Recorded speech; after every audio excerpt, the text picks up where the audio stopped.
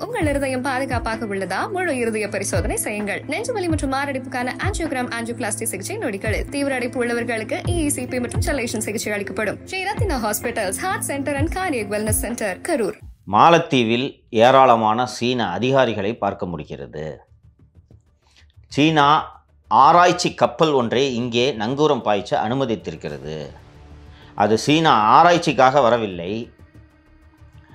விவசாயத்துறையில் ஆராய்ச்சி செய்கிறேன் என்ற பெயரில் இராணுவ காரணங்களுக்காகத்தான் இது இங்கே வந்திருக்கிறது.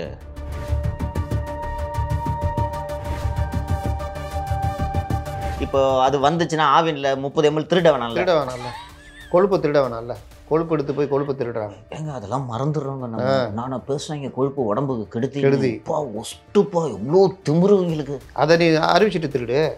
கொழுப்பு உடம்புக்கு திருடி ஆ. அதனால மூணு பர்சன்ட் பால் தான். அப்படின்னு ஏன்னா திருட்டுத்தனமா. ஆ. நம்ம அதையும் பேசணும். அந்த கொழுப்பு அதிகமான பாலோட தேவை என்னன்னா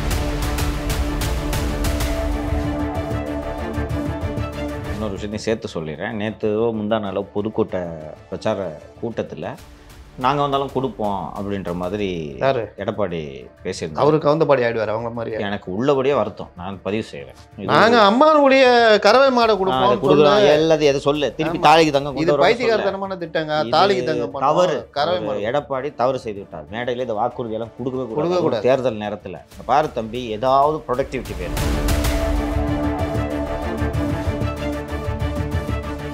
ஒரு மேலோட்டமா சொல்லிடுறேன்.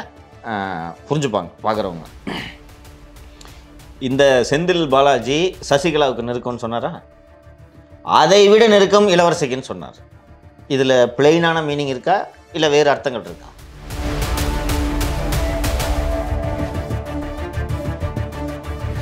ஜெயலலிதா கான்வாய் இப்படி கிளம்புது. அந்த செக்யூரிட்டி குரூப்பில் எவனோ ஒருத்தன் மொலஸ் பண்ணிட்டான். ஐயோ. யார் என்னன்றது தெரியல she was crying she cry to her husband she was crying நான் விட்டு போகிறேன் அப்படி இப்படின்னு சொன்ன உடனே she called her personally don't ஓரின்னு சொல்லி இருபது பேர் இருக்காங்க போலீஸ். யார் பண்ணதுன்னு தெரில இருபது பேரும் மணிமுத்தா.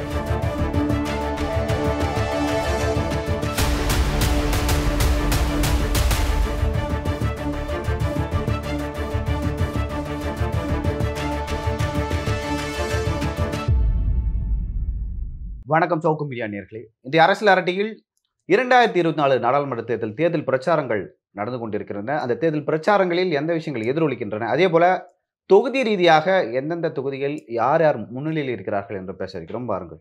வணக்கம். வணக்கம் லியோ. சார் தொடர்ந்து நீங்கள் பார்த்துட்டு வரீங்க. தேர்தல் பிரச்சாரங்கள்லாம்.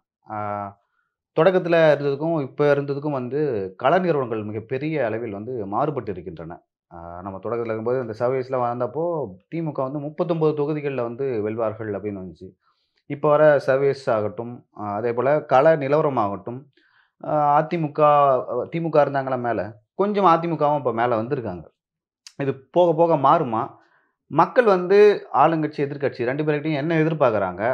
அதே போல் இவங்க பூர்த்தி செய்கிறாங்களா மக்கள் எதிர்பார்க்குற எதிர்பார்ப்பதை?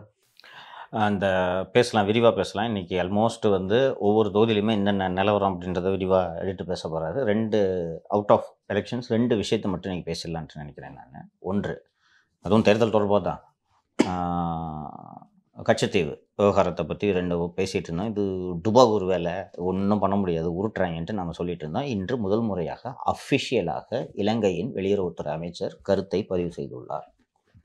சிவன் நாட் ஜீவன் தொண்டைமான் சம் சிவன் தொண்டைமானும் பேசுறீங்க ஆ அவர் அவர் பேசினார். அது அவர் தான் நம்ம பேசணுமே. அவர். தமிழகத்தில் ஸ்டேக்ஸ் இருக்கிற ஆளே பேசிட்டாருன்னா அஃபிஷியலாக foreign minister external affairs minister என்ன சொல்லியிருக்காருன்னா கச்சத்தீவு தொடர்பாக இந்தியா எங்களோடு எந்த பேச்சுவார்த்தையும் நடத்தது ரைட்டா அண்ணாமலை விரைவில் மீட் பண்ணணும்னு முந்தா நாளோ என்னமோ அப்புறம் சொன்னாரு? அப்புறம் மாத்திட்டாரு. ரெண்டு ஒரு நாள்லயே மாத்திட்டாரு. என்ன சொன்னார்? மீனவர்கள் உரிமைகளை காக்கிறதுக்காக. என்ன? இப்போ pure electoral stunt dirty politics which creates tension diplomatic tension among our neighbors and pushing Sri Lanka into China அப்படின்றது மீண்டும் தெளிவாகி விட்டது நல்லா பார்த்தீங்கன்னா நீ அங்கே பேசலை. எது ஆரம்பிச்சப்போ? ஆர்டிஐயில் போட்டு இது வாங்குற விஷயமா? இன்னொன்று பிரதமர் சொல்லியிருந்தாரு கவனிச்சிங்களா? திடீர் இந்த பிரதமரோட ஃபர்ஸ்ட் ட்வீட் முப்பத்தொன்று மூணு ரெண்டாயிரத்தி இருபத்தி நாலு. புதிய விஷயம் தெரிந்திருக்குதுன்னா தெரிந்திருக்கு. பத்து வருஷமா புதிய விஷயம். அவர் கண்ட்ரோலில் தானே இருந்துச்சு. தெரியலையா? கேவலமானவங்க பாஸ் பண்ணணும்? இந்த பிரச்சாரத்தை ஏன் பண்ணணும்? சவுத்தில் அவங்க ரொம்ப கான்சென்ட்ரேட் பண்ணுறாங்க முத்தலே. ஸ்பெசிஃபிக் ஏதோ சம் ரீசன் நீங்கள் சொன்னது கரெக்டு ஒரு காரணம் இருக்குது இது ஆரம்பிச்சதுக்கு ஒரு காரணம் இருக்குது நாம் பண்ணக்கூடிய இன்டெலிஜென்ட் கெஸ்ஸு ராமநாதபுரம் நாகப்பட்டினம் அந்த க கன்னியாகுமரி அந்த கடலோர மாவட்டங்களில் this have an impact Thoothukudi. அப்படின்றது. தூத்துக்குடி யா இது ஒரு ஐடியா அப்படின்ட்டு தான் நம்ம புரிஞ்சுக்க முடியுது. என்னுடைய இன்னொரு நீங்க என்னன்னா திமுக அக்ரெசிவாக இறங்குனாங்க எடுத்த உடனே. ம். இடி ரெய்டு ஐடி ரெய்டு இந்த. மாதிரி விஷயங்கள். ப்ளஸ்ஸு பிஜேபி எதிர்க்கட்சிகளை எப்படி இப்படிலாம் அச்சுறுத்துது இந்த மாதிரி விஷயங்கள்லாம் பெருசாக எடுத்து ஒரு மாதிரி பேச ஆரம்பிச்சாங்க. அது பேச ஆரம்பிச்சோன்னு இவங்க கச்சத்தீவை கொண்டு வந்து போட்ட உடனே அந்த ஒரு கவுண்டமணி படத்தில் வரும் வீட்டுக்காரன் ரொம்ப தொல்லை கொடுக்குறான்னு சொல்லிட்டு கவுண்டமணி அந்த இது பொம்பளை ட்ரெஸ் போட்டு வந்துருவாங்க சத்யராஜன் கவுண்டமணியும். இந்த ஃபேஸை பார்த்துட்டானோன்னா பார்த்துட்டான் பார்த்துட்டான்னொன்னே பார்க்கல பார்க்கலன்னு வீட்டுக்காரர் காலி பண்ணுறதை விட்டுருவாரு. அந்த மாதிரி கச்சத்தீவு பிரச்சனை வந்தோடனே நாங்கள் தப்பு பண்ணல நாங்கள் தப்பு பண்ணலன்னு டிஎம்கே அதுக்குள்ளே போய் மாட்டிக்கிச்சு.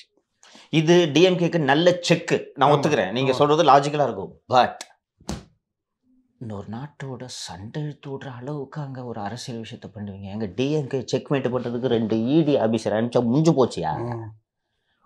நம்ம என்சிபிட்ட சொல்லி ஒரு ஒரு சின்னவரை கூப்பிடுங்க. ஒரு தீவிரமா இருக்கிறாரு அப்படின்னு சொன்னா முடிஞ்சு போச்சு. இவர் அமீர் எனக்கு நோன்பு இருக்குனார் நீ நான் சொல்லுவேன் முடிஞ்சு போச்சு. அதுக்காக ஏங்க இன்னும் இருபது வருஷத்துக்கு இது பஞ்சாயத்து ஆகுங்க. ஒன்ஸ் ஒரு அந்த கண்ட்ரிஸ் சைனாவோட க்ளோஸ் ஆயிடுச்சுன்னா சரி பண்ண முடியுமா? நாளைக்கு இவர் போயிடுவார். நாளைக்கு வேற ஆட்சி வந்துச்சுன்னா சரி பண்ண முடியுமா அதை? இப்- நம்பவே முடியல. ஒரு ஒரு தமிழ்நாட்டில் ஒரு அஞ்சு கான்ஷியன்சிக்காக will anybody push a neighbour in to an enemies hands யாருமே செய்ய மாட்டாங்க அதை அதுவும் இவங்க பத்து வருஷம் ஆட்சியில் இருக்காங்க. இவங்களுக்கு அது எப்படி ராஜ்ய பிரச்சனைகள் தெரியும். இந்த மாதிரி இருக்குது நாங்கள் பேசிட்டு இருக்கோம்னு கூட சொல்லலாம். இல்ல ஆக்சுவலாக விட்டுட்டாங்க. எப்பயுமே வந்து தொடக்கத்துல வந்த புதுசுல வந்து பாகிஸ்தானோட அந்த அந்த மாதிரியான ஒரு. கருத்துக்கள் இருப்பாங்க. ஓகேங்களா பாகிஸ்தானுக்கும் நம்மளுக்கும் வந்து ஒரு மாதிரி ஸ்மூத்தான உறவு இல்லை. நாங்க என்ன வேணா பேசிக்கலாம் அவங்களும் என்ன வேணா பேசலாம் அதுக்கு தான் நாங்கள் அணுகுண்டு என்ன தீபாவளிக்கு வெடிப்பதற்காக வைத்திருக்கிறோமா? அப்படின்லாம் பாகிஸ்தான்லாம் உருட்டுவார். கர்குஸ்கே மாறேங்க. வீடு பூந்து தாக்கவுண்ட்லாம் உருட்டினாரு. இப்போ அங்கே வாயை திறந்தானே சைனா கொன்று வந்துட்டாங்க இல்லை அதுவும் பாகிஸ்தானும் ஒன்றும் இல்லாமல் போச்சு. இவங்க தான் எடுபடல. பாகிஸ்தான் பற்றி பேச எடுபடல. அதனால எடுபடல பட்டு அன்இமேஜினபிள் அதோட தொடர்ச்சியாக ஒரே ஒரு நியூஸ் சொல்லிடுறேன். நம்ம அதுக்கப்புறம் எலெக்ஷன் இதுக்கு போயிடலாம். மாலத்தீவின் எதிர்க்கட்சிகள். Maldivian democratic party. அந்த ப கட்சியின் தலைவர் ஃபயஸ் இஸ்மாயில். மாலத்தீவில் ஏராளமான சீன அதிகாரிகளை பார்க்க முடிகிறது. சீனா ஆராய்ச்சி கப்பல் ஒன்றை இங்கே நங்கூரம் பாய்ச்ச அனுமதித்திருக்கிறது. அது சீனா ஆராய்ச்சிக்காக வரவில்லை. விவசாயத்துறையில் ஆராய்ச்சி செய்கிறேன் என்ற பெயரில் இராணுவ காரணங்களுக்காகத்தான் இது இங்கே வந்திருக்கிறது. மாலத்தீவு சீனாவோடு போட்ட ஒப்பந்தம் development of agricultural economic zone AEZ agricultural economic zone பண்ணுறதுக்காக சைனா ஹார்பர் இன்ஜினியரிங் என்ற நிறுவனம் நிறுவனத்துக்கு ஒப்பந்தம் கொடுத்துருக்காங்க இப்போ ரூலிங் கவர்மெண்ட்டு ஆனால் அவங்க வர்றதே வந்து military ஒர்க்குக்காக தான் வர்றாங்கன்னு மாலத்தீவின் எதிர்க்கட்சி சொல்லியிருக்கிறார். இது ஒரு உதாரணம். நம்ம பேசுனதோட தொடர்ச்சி தான். மாலத்தீவில் ஆட்சி மாற்றத்துக்கு ஏற்ற மாதிரி இந்த இது மாறும். போன கவர்மெண்ட் அந்த எதிர்க்கட்சி தலைவர் கவர்மெண்ட் இந்தியாவோட நல்ல உறவு. அதனால எல்லாம் ஓடிட்டு இருந்தது. இப்போ வந்திருக்கவங்க வந்து இந்திய எதிர்ப்பாளர்கள். இப்போ அதுதான் இந்த பக்கம் இருக்க மாலத்தீவில் சைனீஸ் பிரசன்ஸ் வந்துருச்சு. இப்போ அவங்க எதிர்க்கட்சி தலைவரே சொல்கிறாரு இந்த பக்கம் தான் சைனா இருக்குது. ஒரே ஒரு நாடு இருக்குது இலங்கையில் இன்னும் ஒரு நாடு இருக்குது. அங்கேயும் சைனாக்கிட்ட சொல்லிட்டோன்னா கிட்டத்தட்ட சைனா நம்மளை என்சர்க்கிள் பண்ணிடல. அங்கே இந்த பக்கம் பாகிஸ்தானா. இந்த பக்கம் மியான்மார். சைனாவே இருக்குது அந்த பக்கம். கீழே இப்படி வந்தீங்கன்னா இந்த பக்கம் மாலத்தீவு அண்டு லங்கா. என்சர்க்கிள் பண்ணிட்டாங்களா இல்லையா? வேற என்னப்பா வேணும்? பின்சர் அட்டாக் பண்ணுறதுக்கு இதுதான் பெஸ்ட்டு தருணம். யோசிச்சு பாரு பாகிஸ்தான்லேருந்து ஒரு தாக்குதல் சீனாவிலேருந்து ஒரு தாக்குதல் இலங்கையிலேருந்து ஒரு தாக்குதல். எந்த நாடாவது சமாளிக்க முடியுமா? இந்த நம்ம சிட்டிசன்ஸ் தமிழர்கள் நம்ம ஃபஸ்ட்டு அடி நமக்கு தான் விழும். பரவாயில்ல நம்ம மெட்ராஸில் இருக்கோம். கொஞ்சம் அந்த பார்டரில் இருக்கவங்க தான் முதல் இதுதான். நம்ம ப்ரொசீட் பண்ணலாங்க. நீ காலத்தில் ரகுபதி ஒரு காமெடி பண்ணியிருக்காரு என்னவா? கச்சத்தீவு வந்து ராமநாதபுரம் மன்னருக்கு சொந்தமானதுன்னு ஆவணங்கள் இருக்குதாம் அதை வச்சு சர்வதேச நீதிமன்றத்தில் தா இது பண்ணி கச்சத்தீவை மீட்கும் அப்படின்னு. அது வெள்ளக்காரங்க பங்களாதேஷுக்கு நாம பெருபாரி ஆமாம் அப்படின்ற ஒரு நிலத்தை கொடுத்துட்டு எக்ஸ்சேஞ்ச் பண்ணோம். சரிங்களா? அந்த வழக்கு உச்சநீதிமன்றத்துக்கு போகும்போது உச்சநீதிமன்றம் நீ கொடுக்கக்கூடாதுன்ட்டு ஒரு தீர்ப்பு அளிக்குது. இதெல்லாம் இவங்க சைட் பண்ணலாம். அந்த இடம் என்ன விஷ விசேஷம்னா அது இந்தியாவுக்கு சொந்தமானது. ஓகேவா? இங்கே இது மாதிரி கிளியர் டிமார்கேஷன் இல்லை. நாம் இந்தியா இப்போ சாவரின் கண்ட்ரி ஆகுது பதினஞ்சு ஆகஸ்ட் ஆயிரத்தி தொள்ளாயிரத்தி நாற்பத்தி நாற்பத்தி ஏழு. அதற்கு பிறகு நடப்பவற்றை தான் நாம் அஃபிஷியலாக எடுத்துக்க முடியும். நாற்பத்தி எட்டில் தான் இலங்கை இதாகுது. இருபத்தி ஒன்றுலேயே ஒப்பந்தம் போடுறாங்களா? இருபத்தொன்னுல யார் இந்த ஏரியாவில் மீன் பிடிக்கிறதுன்னு? இலங்கையில் இருந்த பிரிட்டிஷ் அதிகாரிகளும் மெட்ராஸ் பிரசிடென்சியை சேர்ந்த பிரிட்டிஷ் அதிகாரிகளும் சென்று பேச்சுவார்த்தை நட நடத்தும் போது முடிவு எட்டப்படாமல் பிரிகிறது. அதுக்கு பிறகு நம்ம செவன்டி ஃபோரில் போட்டுட்டோம். முடிஞ்ச ஒப்பந்தத்தை எந்த நாடும் பண்ண முடியாது முத்தலீஃபே. வந்து அது ராமநாதபுரம் சமஸ்தானத்துக்கு கீழே தான் கச்சத்தீவு இருந்தது. ஆ, இருந்துச்சு இருந்துச்சு. அவர் ராமநாத அடைஞ்ச பொழுது இங்க எல்லாத்தையும் ஒருங்கிணைச்சு ஒன்று. இந்தியா உருவாகும் போது அது நம்ம கச்சத்தீவு இந்தியாவுக்கு வருது. அப்படிதான் நீங்க சொல்றது கரெக்ட்டுங்க லேசா உனக்கு கொளுத்தி போட்டவனே திமுக திக்கு தெரியாம கர்ரே கர்ரே கர்றேன்னு கத்திட்டு இருக்காங்க. என்ன பண்றதுன்னு தெரியல. ஒரு இடமா போய் இவங்க ஏதாவது ஒரு பதில் வருது. தலைவர் ராமநாதபுரம் சமஸ்தானம் பண்ணியா ஊருக்கே தெரியுமே. உடனே அதை தூக்கின்னு வந்துட்டு நாங்க சர்வதேச நீதி அப்ப எத்தனை வருஷமா என்ன பண்ணீங்க? கலைஞருக்கு தெரியாத அவங்களுக்கு தெரிஞ்சிச்சு ரகுபதிக்கு. காமெடியா இருக்குல்ல? பண்ணட்டும் நடக்கட்டும். பேசுவாங்க. தேர்தல் பிரச்சாரம் எப்படி நடக்குது? என்ன நிலவரம் சொல்லுங்க. தேர்தல் பிரச்சாரத்துல தொடர்ச்சியாக மகளிர் உரிமை தொகை ஆதிக்கம் செலுத்தி வருகிறது. இடத்துல ஒரு லேடியாவது குரல் கொடுக்குறாங்க. எனக்கு வரல ஆயிரம் ரூபாய் ஆ. இது வந்து உளவுத்துறையும் சம்மந்தப்பட்டவங்க எல்லாத்துக்குமே ரிப்போர்ட்டாக போட்டுக்கிட்டு இருக்கிறாங்க. நம்ம ஆரம்பத்திலே சொன்ன மாதிரி தான் மகளிர் உரிமை தொகைன்றது தேர்தலில் கடுமையாக எதிரொலிக்கும். நாம சர்வே எதுக்கு எடுத்தோன்றது தெரியுதா? ம்? அன்னைக்கு சொன்னோம் வாங்கியவர்கள் திமுக வாக்காளர்களாக மாறுவதற்கு வாய்ப்பு இருக்கிறது இவ் அது வந்து அது திமுக வாக்காளர்களுக்கு வாக்காளர்களுக்கு பயனளிக்கிறது. அதாவது வாங்கினவங்க திமுக வாக்காளர்களாக மாறிட்டாங்க. சரியா? நிறைய பேர் சப்போர்ட் பண்ணுறாங்க அதுவும் குறிப்பாக விளிம்பு நிலை மக்களிடம் இது வரவேற்பை பெற்றிருக்கிறது வேலை செய்யுது ரெண்டே கால் கோடி ரேஷன் கார்டில் ஒரு கோடி ரேஷன் கார்டு கொடுத்துட்டு மீதி ஒன்னே கால் காடி கோடியை கொடுக்காம விட்டா அதுவும் ஃபஸ்ட்டு எல்லாருக்கும் கொடுப்பேன்னு சொல்லிட்டு கொடுக்காம விட்டா ஒன்னே கால் கோடி பேர் உனக்கு எதிராக திரும்புவான் ஏன் இந்த வேலையை திமுக செய்துன்ட்டு தான் நம்ம பேசணும். கரெக்ட்டுங்களா? இது மனித குணம். இப்போ நீங்களும் நானும் பக்கத்து வீடுங்க. எனக்கு வாங்கிடுச்சு நான் வாங்கிட்டேன் உங்களுக்கு வாங்கல. பாரு கார் வச்சுன்னுக்குறான். கவர்மெண்ட் துட்டு ஆயிரம் ரூபாய் வாங்கினுக்கிறான் பாரு. இயல்பாக மனிதர்களுக்கு வருமா வராதா. நான் நேற்று கூட வந்துச்சியா? நாற்பத்தி ரெண்டு இன்ச்சு கலெக்டிவ் வாங்கினாயா? இவருக்கு ஆயிரம் ரூபாய் மாதம் வருமா வராதப்பா? வரும் சார் அதை தாண்டி இன்னொரு விஷயமும் இருக்குது சார். இப்போ எங்கள் வீட்டில் வந்து இப்போ ஒரு வீடு இருக்குன்னு வச்சுங்களேன் அந்த வீட்டில் இருக்கிற ஒரு இல்லத்தரசி வாங்குறாங்க. அவங்க வீட்டில் இருக்கிற ஆண் ஆண்கள் இருக்காங்களா அவங்க வந்து அஹ் வாங்கினதாலே வந்து திமுக ஓட்டு போடுவாங்கன்னா இல்லை அவங்கள அவங்க வந்து டிசிஷன் வேறு மாதிரி இருக்கலாம். ஆனால் வாங்காதவங்க வீட்டில் இப்போ வாங்கலாம் வச்சுக்கேன் அவங்க வந்து சண்டை போடுவாங்க.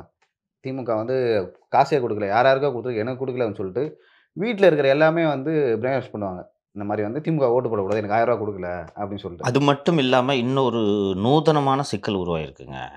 ஜாயிண்ட் ஃபேமிலி இருக்காங்கல்ல ஜாயிண்ட் ஃபேமிலியில் முதியோர் உதவி தொகை இது மாதிரி அதை. நிப்பாட்டிட்டாங்க. நிப்பாட்டாங்க. ஒரு வீடு ஒரு வீட்டில் மாமியார் இருக்காங்க.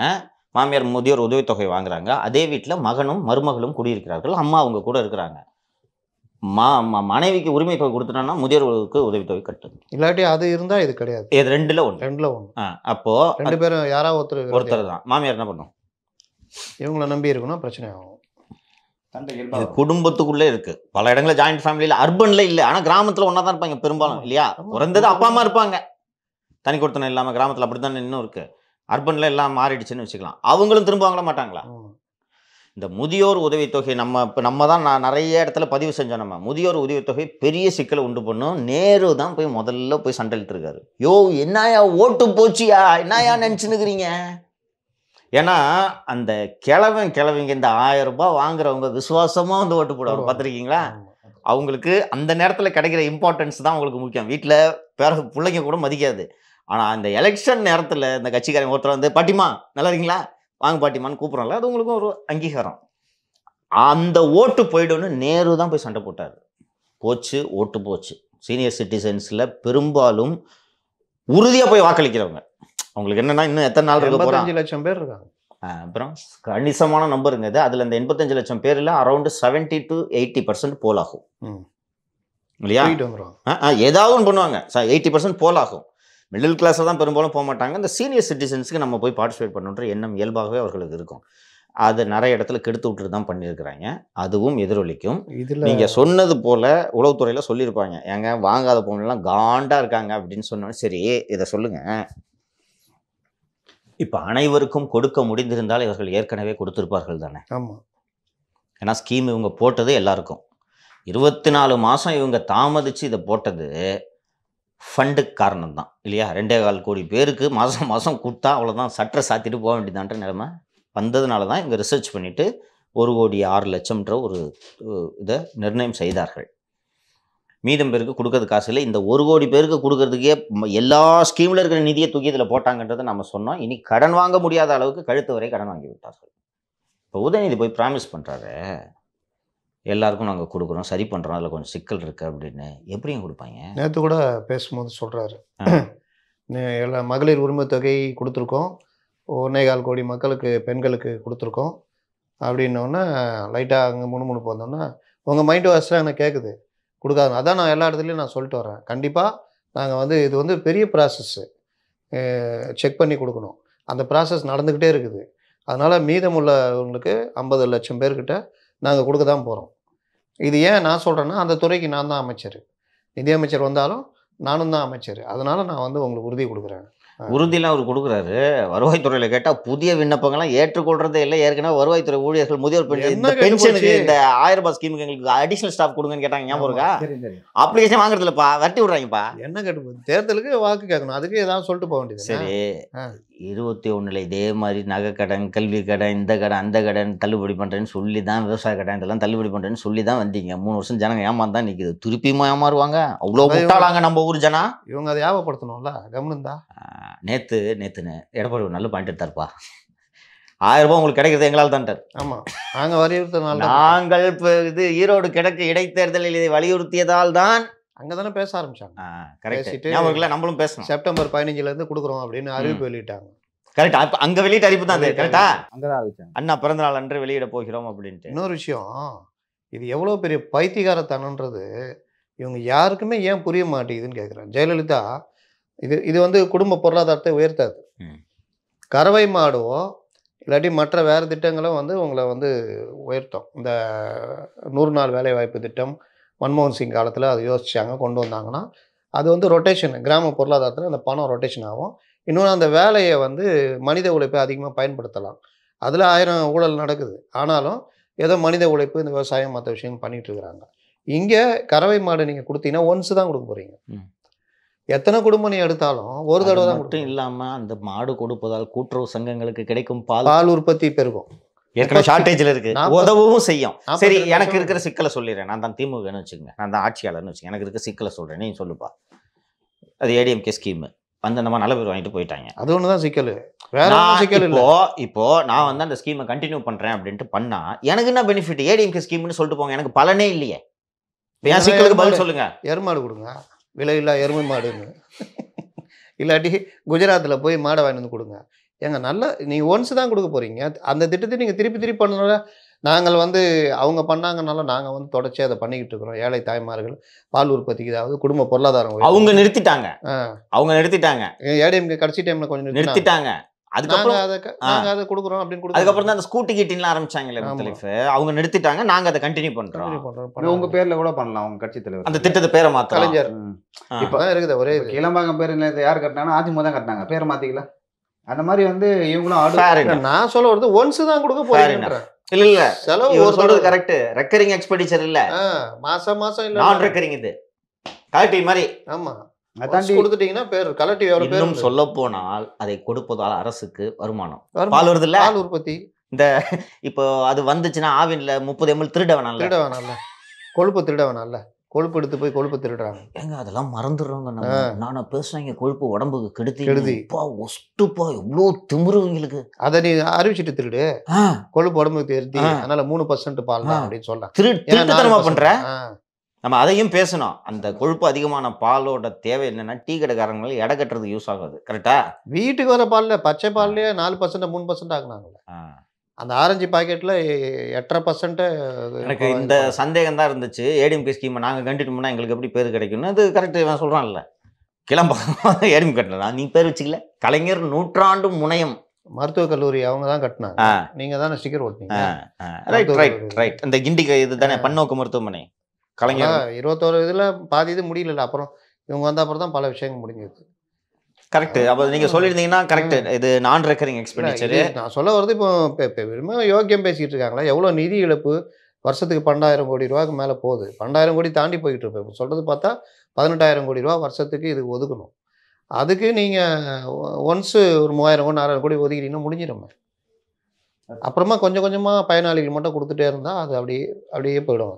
ஒரு வாட்டி ம- மாடு ஆடு வாங்கினவங்களுக்கு திருப்பி திருப்பி கொடுக்க போறது கொடுக்க இல்லை போறது கரெக்டா வாங்காத பா- அதுக்கான இன்னைக்கு கொடுக்குறவங்களுக்கு இன்னொருத்தருக்கு அடுத்த மூணு மாதம் மூணு மாதம்னு போகும்போது இப்போ ஒரு வீட்டுல திருமணம் ஆகி அவங்க புதுசா கொடுத்த நடத்தி புது ரேஷன் கார்டு வாங்குவாங்க. அவங்களுக்கு ஃப்ரெஷ்ஷாக கொடுப்பாங்க. ஸோ கூடுதல் செலவு பெரிய அளவில் ஏற்படாது. இருக்காது. அதே மாதிரி தாலிக்கு தங்கம் திட்டத்தை எனக்கு என்ன நிப்பாட்டினீங்க? அதுக்கு தான் சொன்னாங்களே நாங்க மாசம் மாசம் காலேஜ் அதுக்கும் இதுக்கு என்னங்க சம்மந்தம் இருக்கு? நான் டிகிரி முடிச்சுட்டு என் பொண்ணு வீட்டில் இருக்கு. அதுக்கு என்னால் வசதி இல்லை. கல்யாணம் பண்ணும்போது ஒரு சவரம் தங்க நகை ஐம்பதாயிரம் ரூபா கவர்மெண்ட் கொடுக்குது. அதுவும் அப்போ கொடுக்க மாட்டாங்க. பத்திரிக்கைலாம் அடித்து சப்மிட் பண்ணி வாங்குவாங்க. அது போய் சேரும். அதுக்கும் கல்லூரியில் படிக்கும் மாணவிகளுக்கு ஆயிரம் ரூபா கொடுக்கறதுக்கு என்ன சம்மந்தம் இருக்குது அதை தனியாக கொடுத்துட்டு போவாங்களா? அவங்க யார் தடுக்கிறா? படிக்கிற பிள்ளைங்களே ஆயிரம் ரூபா கொடுங்க கொடுத்துட்டு போங்க. அடிஷனலா பண்ணிருக்கணும் நீங்க. இதை நிறுத்தாம. பண்ணிருக்கணும். பண்ணிருந்தா நல்ல பேர் வாங்கியிருந்திருக்கலாம். இதையே நிப்பாட்டிங்க. அதையும் ஏடிஎம்கே கடைசி காலத்தில் கொஞ்சம் கொஞ்சம் குறைச்சிட்டு வந்தாங்க. நாங்கள் செய்கிறோம் பாருங்க அப்படின்ட்டு பண்ணிட்டு போனால் நல்லா இருக்கும்ல. எதுவுமே பண்ணலையே. நீங்கள் சமூக நீதி கட்சின்றீங்க. என்ன சமூக நீதி திட்டங்கள் செஞ்சீங்க? மாணவர் கல்வி சைக்கிளை தொடர்ற மாதிரி தொடரலாம் தானே. சைக்கிள் ஜெயலலிதா கொண்டு வந்தது. ஆமா. ஆக்சுவலா சைக்கிள்ன்ற திட்டம் வந்து இது மகளிர் இல்ல இல்ல செல்வி ஜெயலலிதா தான் கொண்டு வந்தாங்க. முதல்ல வந்து பெண்களுக்கு மட்டும்தான் கொடுத்தாங்க அந்த திட்டத்தை. ஏன்னா பெண்கள் வந்து ரொம்ப தூரம் போய் படிக்கிறதா இருக்கு. இதனாலே நிறைய பேர் பெண்கள் வந்து இடைநிற்றல் அதிகமாக இருக்குன்னு சொல்லிட்டு பெண்களுக்கு தான் முதல்ல செல்வி ஜெயலலிதா அவர்கள் கொடுத்தாங்க. அதுக்கப்புறம் வந்து ஆண்களுக்கும் கொடுத்தாங்க. அப்படி தான் தொடங்குச்சு அந்த திட்டம். இந்த ஆயிரம் ரூபா திட்டத்தில் நான் எப்படி பார்க்குறேன் சார் நம்ம ஏற்கனவே பேசியிருக்கோம் அதை பற்றி இப்போ ஆயிரம் ரூபா கொடுத்தா ரூபா வரும் போகும் செலவாயிடும். அது வேற விஷயம். ஆனால் வந்து நீங்கள் ஒரு அசட்டாக கொடுக்கும்போது இல்லை விலையில்லா ஆடு விலையில்லா மாடு அப்படின்னு கொடுக்கும்போது அது அசட் அவங்க. அது எப்பயுமே அவங்க கிட்ட இருக்கும். அது வந்து பல்கி பெருகும். ஓகேங்களா? ஒரு ஆயிரம் ரூபா கொடுத்து அதை நான் வந்து டெபாசிட் பண்ணி வைக்க போகிறதில்ல போய் இன்வெஸ்ட் பண்ண போகிறதில்ல ஆனால் இது வந்து இன்வெஸ்ட்மெண்ட் மாடோ ஆடோ. தம்பி எங்க ஊர்ல எங்க அம்மா ஊர்ல ஏதோ ரிலேட்டிவ் ஹஸ்பண்ட் ஆக்சிடெண்ட்டில் இறந்துட்டாரு. ஒரே ஒரு பொம்பளை பிள்ளை. சித்தி எனக்கு. ஒரு ஆடு வாங்கி கொடுத்தாங்க. ஒரு ஒன்றரை வருஷம் கழிச்சு போகிறேன் பத்து ஆடு நினைச்சு. ஆமாம் வண்டி போகும்போது பார்த்து போனது ரோட்டில் படுத்து கிடக்கும். கிராமம் தானே. அப்படி ரோட்டில் படுத்து கிடக்கும். பார்த்தேன். பொண்ணு கல்யாணம் பண்ணிச்சுங்க.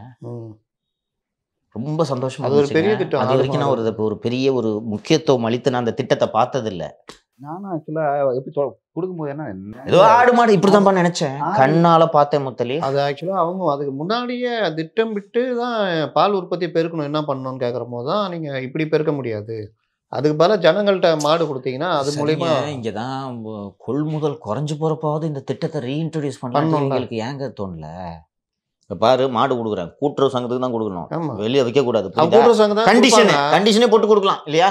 கூட்டுறவு சங்கம் வந்து ஒரு இன்சா ஒரு பேமெண்ட்டை நிப்பாட்டி இன்னொரு பேமெண்ட்டை கொடுக்குறாங்க. தனியார் உடனே கொடுப்பான். ஆமா. ஆனாலும் கூட்டுறவு சங்கத்துக்கு தான் ஊற்றுவாங்க. அதெல்லாம் இருக்குது. ஆனாலும் வந்து இவங்களுக்கு ஏன் அந்த திட்டத்தை வந்து தொடர்றதுக்கு இவங்களுக்கு என்ன பிரச்சனை இவங்களுக்கு? லேப்டாப்புங்க லேப்டாப்பு இது எல்லாமே சமூக நீதி. நான் கேட்குறேன் மதிய உணவு எம்ஜிஆர் கொண்டு வந்தார். அதை விட்டுட்டீங்களா?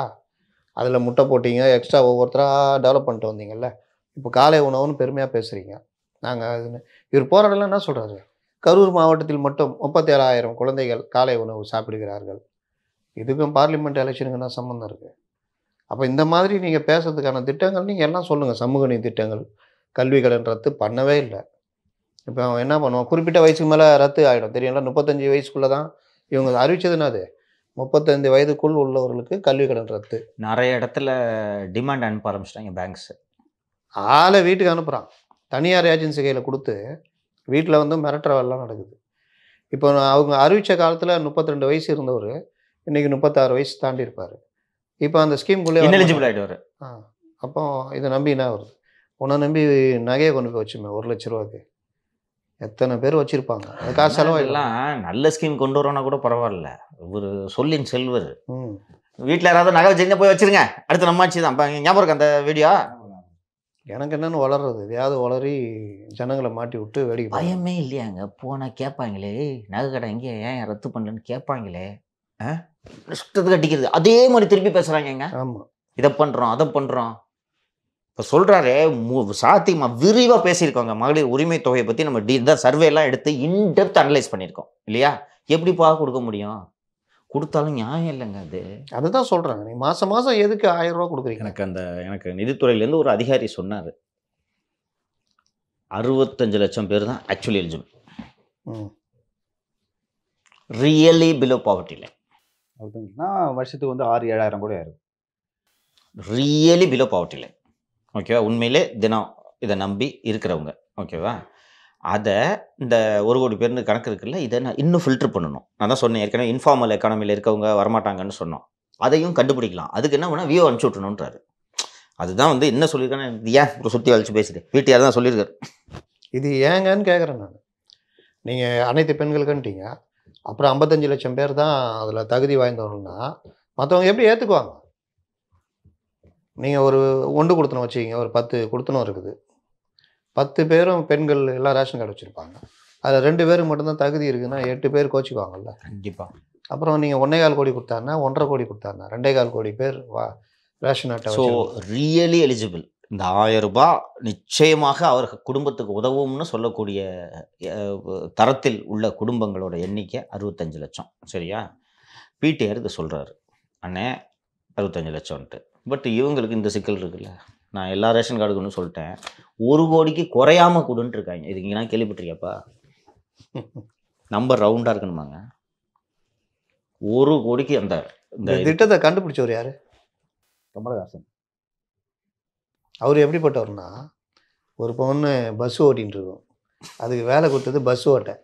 அது ஊரில் ஒரு ஒரு ப்ரொமோஷன் டீம் வச்சுக்கிட்டு கேஸ் விழுந்துச்சுல்ல இப்போ ரீசெண்டாக ஆமாம் ம். ப்ரொமோஷன் டீம்னு ஒன்று கூட வச்சுக்கிட்டு எல்லா விஐபிஸும் கூப்பிட்டு வண்டியில் ஏற்றிக்கிட்டு பேசிக்கிட்டு போகிறது நடு நடுவில் பஸ்ஸை நிறுத்திக்கிட்டு சான்றிதழ் வாங்குறது. அப்போ பல வேலைகளில் போவோம். அதில் ஒரு பெண் கண்டக்டர் அது ஏம்மா என்னம்மா இந்த மாதிரி பண்ணிக்கிட்டு இருக்கிற?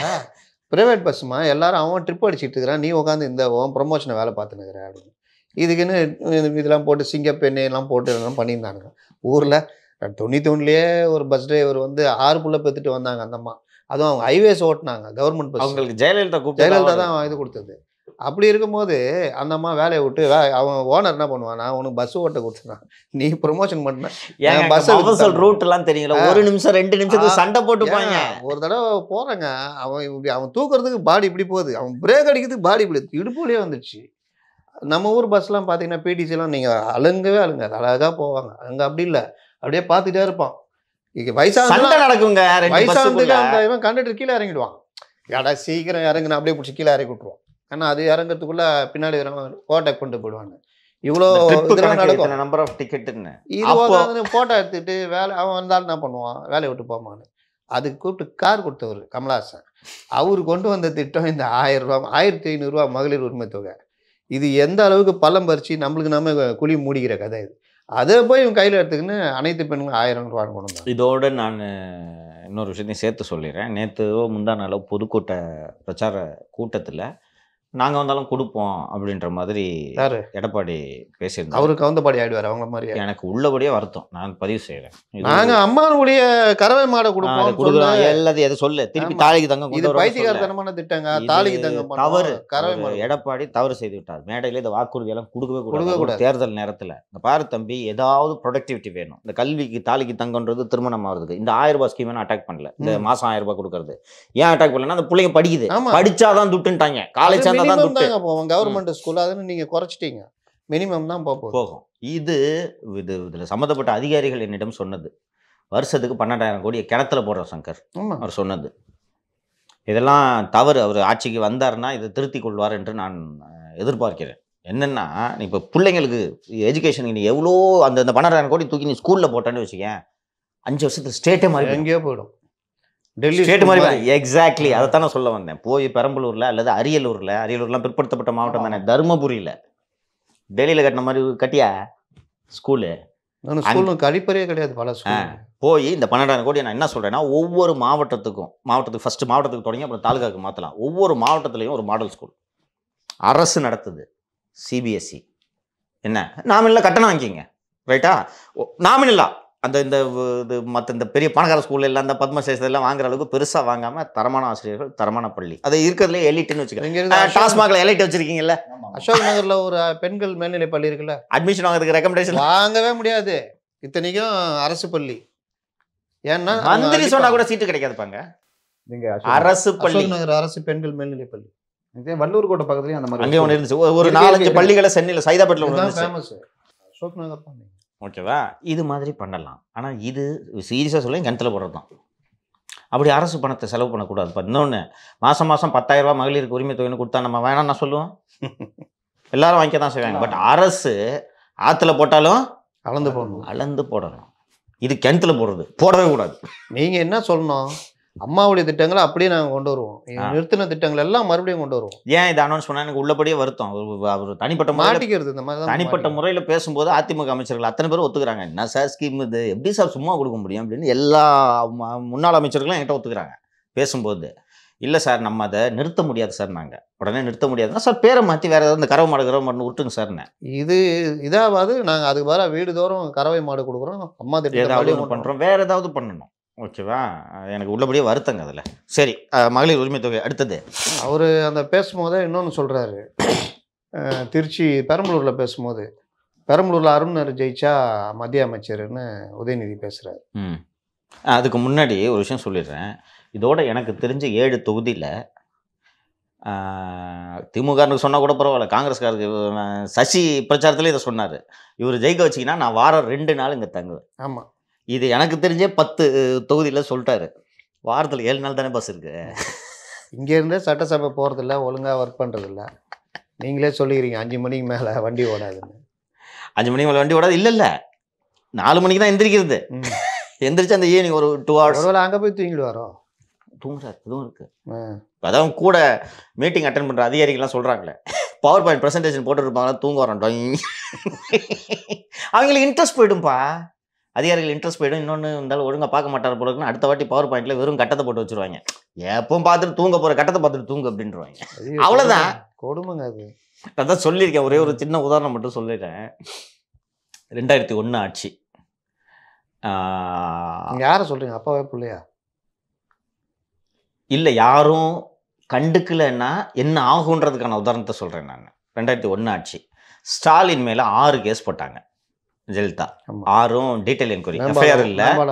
மேம்பால ஊழல். நேப்பியர் பிரிட்ஜ் அகலப்படுத்துறது அரசு பள்ளி கட்டிடங்கள் கட்டுவது அப்புறம் இந்த ரோடுக்கு கீழே பாதாள சாக்கடை போடுறதுல ஆத்து மண்ணு போட்டோன்னு சொல்லி வேற ஏதோ போட்டு துட்டு அடிச்சிட்டாங்க அப்படி இந்த மாதிரி ஒரு ஆறு என்கொயரி இருக்குது அதில் ஒரு என்கொயரி இந்த பைப்பு மாற்றுறது இருக்குல்ல வேர்ல்டு பேங்க் உதவியோட உள்ளே இருக்க இந்த சென்னையில் இருக்கக்கூடிய பாதாள சாக்கடையில் இருக்கக்கூடிய இந்த குழாயை பூரா மாற்றுறாங்க. அந்த தோண்டி மாற்றும் போது உள்ளே ஆத்து மண்ணை போட்டு மூடணும். இவங்க ஏதோ ஒன்று போட்டு மூடிட்டு ஆத்து மண்ணு போட்டோன்னா ஆத்து மண்ணுக்கான காசை க்ளைம் பண்ணிட்டாங்க. சரிங்களா? இவர் மாநகராட்சி மேயர் ஸ்டாலின். அப்போது இது டெக்னிக்கல் எக்ஸ்பர்டைஸ் வேணும்ல. இன்ஜினியர்ஸ் தானே வேணும். அதனால் கார்ப்பரேஷன் பிடபிள்யூடி ஹைவேஸ் இங்கே இதெல்லாம் இன்ஜினியர்ஸ்லாம் டெப்டேஷனில் வருவாங்க. இருக்கிறதுலே இப்போ இந்த தொண்ணூற்றி ஆறில் எப்படி சொத்து குவிப்பாளுக்கு விஐபி கேஸோ அதே மாதிரி ஸ்டாலின் மேலே இருக்கிற. இந்த ஆறு கேஸும் விஐபி கேஸு. ஒவ்வொரு மாதமும் ஆறு தொடக்கத்தில் ஒவ்வொரு மாதமும் ப்ராக்ரஸ் ரிப்போர்ட் கொடுக்கணும். Radhakrishnan IG. First Thilagavathi director அடுத்து நாஞ்சல்குமாரன் டேரக்டர் பாண்டியன் ஒரு டிஎஸ்பி இருந்தார் அவர் இறந்துட்டார் இப்போ. ஸோ சிஎம்க்கு போகிறதுக்கு பவர் பாயிண்ட் ப்ரெசன்டேஷன் லாஸ் அப்படின்ட்டு போடணும். சிஎம் ஜெயலலிதா. ஜெயலலிதா. எடுத்துகிட்டு போவாங்க. பவர் பாயிண்ட் ப்ரிப்பேர் பண்ணுறது வேலை எந்து ஓகேவா ஃபஸ்ட்டு போன உடனே இன்ஜினியர்ஸ் எல்லாம் லாஸ் ஒர்க் அவுட் பண்ணுவாங்க எவ்வளோ லாஸ்ன்ட்டு ஃபுல்லாக டீட்டெயிலாக பார்க்க முடியாதுல்ல? ஜெயலலிதாவுக்கு சொல்கிறதுக்குன்னு டோட்டல் லாஸ் எவ்வளோ அப்படின்னு போடணும்.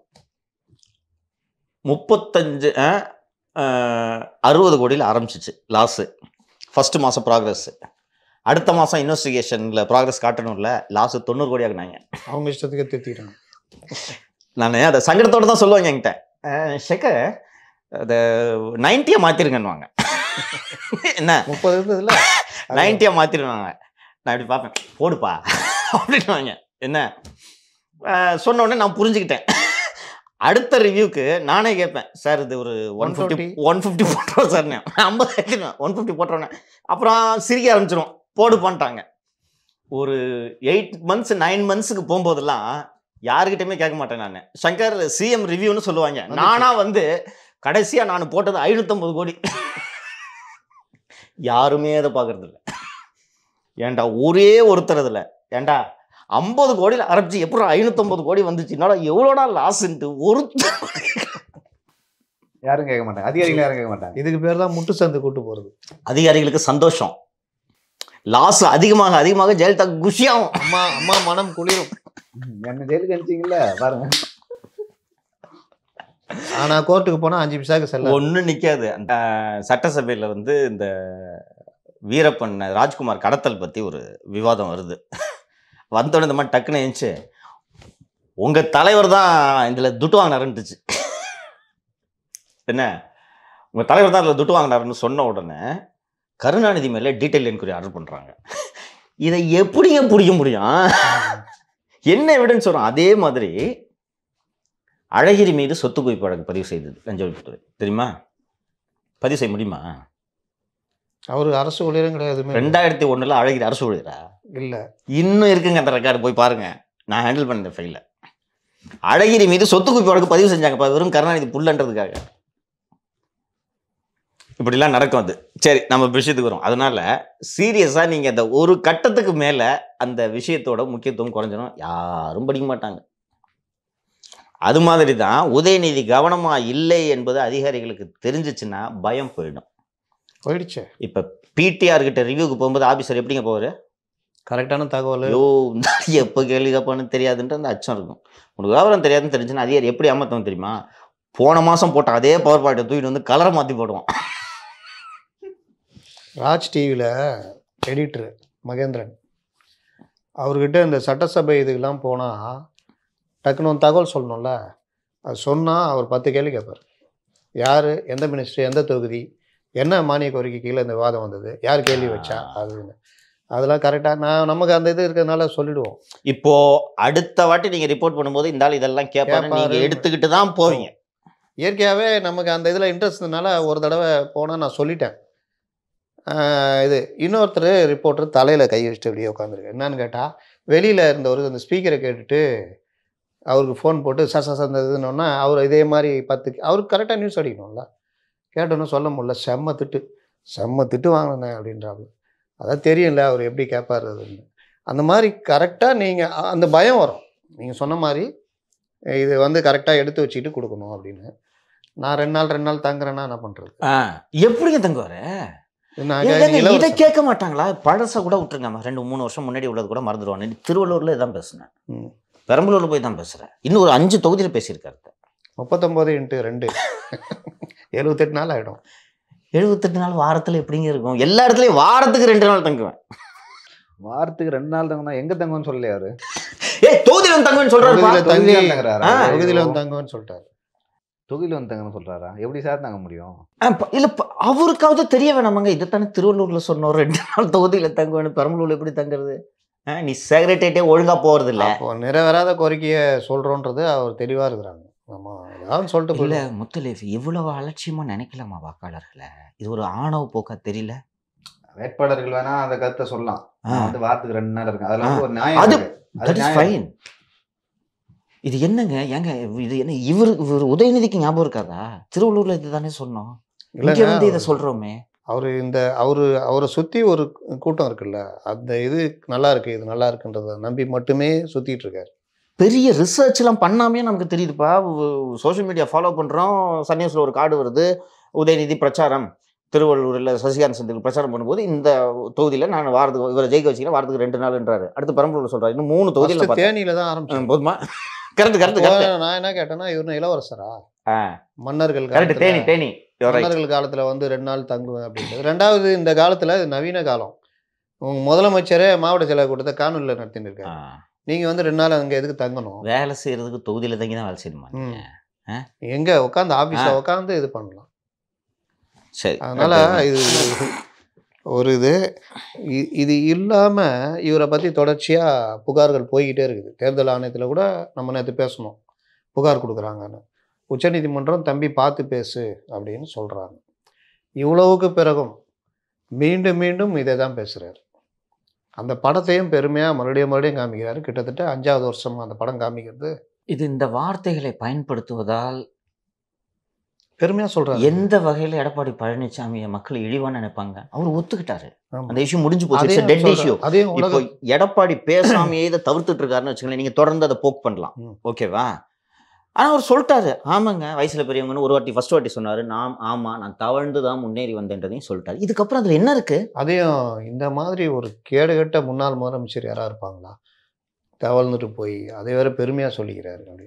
நீ கேட்டதுக்கு அவர் பதில் சொன்னார். ம். அதையும் பெருமையாக சொல்லிக்கிறாரு. இவர் திருப்பி திருப்பி அந்த முன்னாடி இருக்க பத்து பேருக்காக மட்டுமே பேசிகிட்டு இருக்காரு. திருப்பி பதிலுக்கு ஏடிஎம்கேல பால் டாயில்னு ஆரம்பிச்சாங்கன்னா எங்க போய் முடியும் இவர் சொல்லிட்டாரு அண்ணாமலை. என்னன்னு சொன்னாரு? இருபத்தொம்பது பிசான்லாம் பேசியிருந்தேன்னா பார்த்துக்குங்க கவனமாக இருங்க. நாங்கள் அப்புறம் திருப்பிட்டு பல விஷயங்கள் நாங்கள் பேச ஆரம்பிச்சிருவோம். டாஸ்மார்க்கு இது அப்படி இப்படின்னு அவர் ஒரு நாலஞ்சு பட்ட பேர் சொல்கிறாரு அதெல்லாம் வச்சு இவனை கூப்பிட ஆரம்பிச்சிருவோம் அப்படி இல்ல இவரை பத்தி குமுதரி பொருள் கவர் ஸ்டோரி வந்துச்சு. ஞாபகம் இருக்கா இல்லையா? பால் டாயில் ஆரம்பிச்சா என்ன பண்ணுவீங்க? அதுதான் சமூக வலைதளங்கள் அப்படி தானே ஓடி ஒரு லைன் இது பண்ணக்கூடாது தம்பி. ஆல் செட் அண்ட் டென் எவ்வளோ மோசமானவராக இருக்கட்டும். He's former chief minister leader of opposition now. மினிஸ்டருக்கு ஈக்குவலான ரேங்க் தானேங்க. எல்ஓபிக்கு ஆமா. ஆ. அரசு காரு எல்லாமே கொடுத்தா அது பண்றாங்க. என்ன பழக்க வழக்கம் அது? இது என்ன இவரை வந்து எப்படி எப்படி பார்ப்பாங்க மக்கள்? இவங்க சுற்றி இருக்க நீங்கள் சொன்னது கரெக்டாக நம்ம சு- முன்னாடி இருக்க பத்து பேருக்கு நீ சொல்கிற நம்ம எப்படி பார்ப்போம்? மற்றவங்க எப்படி பார்ப்பாங்க? இது கூட அவருக்கு போய் சேருதா? இல்லை இதை அவர் படிக்கிறாரா? இல்லை அதை அவர் கேட்குறாரா எதுவுமே கிடையாதுன்னு தான் நான் நினைக்கிறேன். எதையும் பார்க்கறதில்ல எதையும் பண்ணுறதில்ல ஒரே இது கட்டணுமா? நம்ம பேசுறத ரசிக்கிறாங்க ஜனங்க அப்படின்னு. டைப்பிக்கலாக சேஞ்சே இல்லைப்பா. அந்த இதுக்கு கேம்பெயின் பிட்டை பார்த்தோம்னா தயாநிதி மாறன் கூட நான் பார்த்தேன். கரூரில் ஜோதிமணி கூட பார்த்தேன். திருவள்ளூர்ல பண்ணும்போது பண்ணாரா? ஜோதிமணி கூட தான் இந்த இது ஆ. பேசணும் அதை எல்லா எடுங்க. அந்த படத்தை எடுங்க. இதே தான்ப்பா அந்த படத்தை எடுங்க. தெரியுதா யாருன்னு? ஆ தெரியுதா? பாதம் தாங்கி. என்னது? பாதம் தாங்கி. அவர் அப்பாவா தான் பேசுறாரு. இவங்களுக்குள்ள ஒரே ஒற்றுமை. இந்தந்த சப்ஜெக்ட் நேற்று பேசணும்ல. இந்தந்த சப்ஜெக்ட் பேசுவோம் இப்படி அடிப்போம் பிஜேபி. அப்படி கிடையாது. எடப்பாடியே இப்படி திட்டுவோம். அதில் மட்டும்தான் ஒரு இது முடிவு பண்ணி வச்சுட்டு பண்ணுறாங்கன்னு நினைக்கிறேன். செங்கலை தூக்குறது இப்போ வைக்கப்படுறாரு. சரி கேட்குறீங்க அப்படின்னு அப்புறமா எடுத்து காமிக்கிறாரு. அதான் சொல்லிட்டாங்களே கொளுத்து வேலைக்கு போறாருன்றாங்க நீங்கள் வேற ப்ராப்பர்ட்டி பொலிட்டிஷியன் ப்ராப்பர்ட்டி காமெடின் தான். என்ன சந்தேகம் அதுல?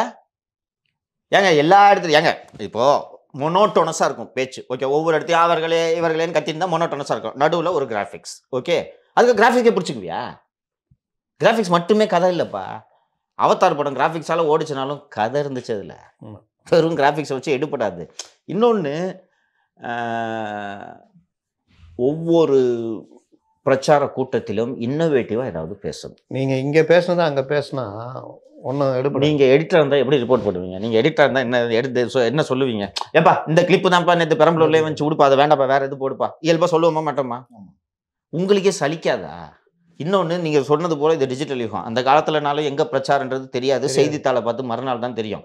இன்னைக்கு லைவ் போடுறாங்க. அஞ்சு அஞ்சு நிமிஷத்துல வந்து ட்விட்டர்ல எல்லா. சேனலும் டிவியில போடுறாங்க. உங்க ஐடிவிங் போடுது. இதை கம்பேர் பண்ணும்போது கனிமணி இஸ் டூயிங் பெட்டர் ஜாப் ஒவ்வொரு இடத்துல ஷீ சேஞ்சிங் தி ஸ்பீச்னு நினைக்கிறேன். பேசுகிறாங்க அவங்க வந்து எப்போவுமே ஒரு ஒரு இதுவே இருக்காது அந்த பேச்சில். Fire. இல்லாமல் அப்படியே தான் ஃபயராக பேசுனாங்கன்னா அப்போ தூத்துக்குடி சீட்டையும் காலி பண்ணுறதுக்கு நீ ஏற்பாடு பண்ணுறீங்க கரெக்டா ஏன் இவங்களோட மத்திய அரசுக்கு எதிராக ஃபயராக பேசுங்க? மத்தியரசுக்கு எதிராக ஃபயராக பேசிட்டு அண்ணன் நல்லா பேசுகிறாங்கன்னே நாலு பேர் போய் ஸ்டாலின்ட்ட சொன்னால் என்ன இருக்கும் அதாவது அடுத்து- அடுத்தது சொல்கிறேன் மத்திய அண்ணே செம்மையாக பேசுனாங்கண்ணே. இந்த வாட்டி மக்களவை திமுக தலைவராக்கிடலான்னு சொன்னாங்கன்னா அதுக்கு அப்படியா? பயந்து போய் தான் ஒருத்தர் நிற்கிறாரு தூத்துக்குடி சீட்டுக்கு பாயசத்தை போட்டுற வேண்டியதான் போட்டுருவாங்க. ஒருவேளை இது கூட காரணமாக இருக்கும். எதுக்கு? ஆமாம் இல்லை அவங்களுக்கு இயல்பாகவே அந்த விஷயங்கள் சப்ஜெக்ட் பேசுறது வரலன்னு நினைக்கிறேன். ம். அவங்களுக்கு அதெல்லாம் தாண்டி பேசலாம். பேசுறதுனால ஒன்றும் கெட்டு போகாது. அந்த இது இல்லை. ஆரம்பத்துலேருந்து நான் அவங்களுடைய பேச்சு பார்க்குறேன். சரி இப்போ இன்னொரு விஷயம் சொல்லுங்க எனக்கு. என்டையர் டிஎம்கே கேம்பெயினில் கவரக்கூடிய வகையில் எந்த வேட்பா வேட்பாளரையும் சேர்த்துங்க நீங்க. ம். யார் பேசுறா? சிவாஜி கிருஷ்ணமூர்த்தி. யோ. எவ்வளோ சீரியஸாக கேட்டுருக்கேன் வேற யாருங்க இருக்கிறா யாரு இதெல்லாம் யோசிச்சு பேசுறாங்க இல்லை யாராவதுப்பா? கொஞ்சம் யோசிச்சு சொல்லு. இப்போ நம்ம ஏடிஎம்கே எடுத்தா அவர் ஒரு பழனிசாமியை தவிர்த்து சிவி சண்முகத்தை சொல்லலாம். கரெக்டுங்களா ஒரு செல்லூர் ராஜா ஆ. போறாருங்க. பேசுறாரு. ஆர்பி உதயகுமார் பேசுறாரு. இவரு ராஜேந்திர பாலாஜி? ஆ, ராஜேந்திர பாலாஜி நேத்து பேசியிருக்காரு. சரவணன் டாக்டர் இது அந்த இது மதுரை. மதுரை சரவணன் பைனாகுலர். பைனாகுலர். பத்தி அதுதான் அப்படிதான் பண்ணணும் பண்ணி கொஞ்சம் கொண்டு வராங்க. இப்போ சரவண எல்லா கூட்டத்தையும் பைனாகுலர் தூக்கின்னு போனா? காமெடி ஆகிடும் one or two times there ins the mat இவங்க நல்லா பண்றாங்க பாத்தீங்களா? கரூருக்கு போறாரு. நேத்து இவரு பழ இவரு எடப்பாடி மீட்டிங் பார்த்தீங்கன்னா கரூர் போனார் போடுப்பா. கரூர்ல பஸ் செம்மையா இருந்துச்சுங்க ரெடியா சொன்ன உடனே போடுப்பான்னு உடனே ஐயோ, ஐயோ. நீங்கள் கிருஷ்ணசாமியா? ஆமாம் உங்கள் கோரிக்கையை படிங்க. ஐயா கறவை மாடு வேணும் ஐயா. கிருஷ்ணசாமி கனவு கணவரை- காணவில்லை என்று புகார் கொடுத்திருக்கிறார். யோ அதை கட் பண்ணிட்டாங்க அதில் ஏங்க கறவை மாடு காணோன்றா கணவரை காணோன்னு படிக்கிறாரு. இவரு கையில நாட்டை கொடுத்தா என்னங்க ஆகுதுன்னு? இந்த லட்சணத்துல இந்தியாவை வழிநடத்த அதுக்கப்புறம் அது தொடரல அதை அடுத்த விட்டாரா? இல்ல நேத்து செந்தில் பாலாஜி ஸ்பீச். கரூர்ல ஸ்டாலின் பேசினார்ல. இந்த. மாவட்டத்துல ஒரு அமைச்சர் இருக்காரு. அவர் தம்பி தான் எல்லாமாமேங்க அப்படியா? அது ஆமா. அந்த இதுல கரூர் கூட்டத்துல பேசினார்ல என்னென்னமோ பண்றாரு மணல் கடத்துறாரு இன்னும் ரெண்டு மூணு விஷயம் சொன்னாரு. அவர் தான் எல்லாமே ஏகப்பட்ட ஊழல் கூட்டம் ஆ. ஒரு நிமிஷம். ஒரு மேலோட்டமா சொல்லிடுறேன். புரிஞ்சுப்பாங்க பார்க்குறவங்க இந்த செந்தில் பாலாஜி சசிகலாவுக்கு நெருக்கம்னு சொன்னாரா? அதை விட நெருக்கம் இளவரசிக்குன்னு சொன்னார். இதுல பிளெயினான மீனிங் இருக்கா? இல்ல வேறு அர்த்தங்கள் இருக்கா? புரிஞ்சுப்பாங்க. அவரு பிளெயினாக பேசல அதை. ஏன்னா Ilavarasi is nowhere in the picture ஜெயிலுக்கு போனாங்க. ஜெயில் போனாங்க அவ்வளோதான் சசிகலான்னா ஜெயலலிதா சசிகலான்றது நம்ம மெமரியில் எச்சுடு ஜெயிலுக்கு போனதை தவிர இளவரசியை பெரிய அளவில் நம்ம பொது இடங்களில் பேசுவதில்லை. அவங்கள அரசியல் நியூஸில் கூட அவங்க வரமாட்டாங்க. எனக்கு ஏதோ மகனை பற்றி நியூஸ் வந்தால் வரும்.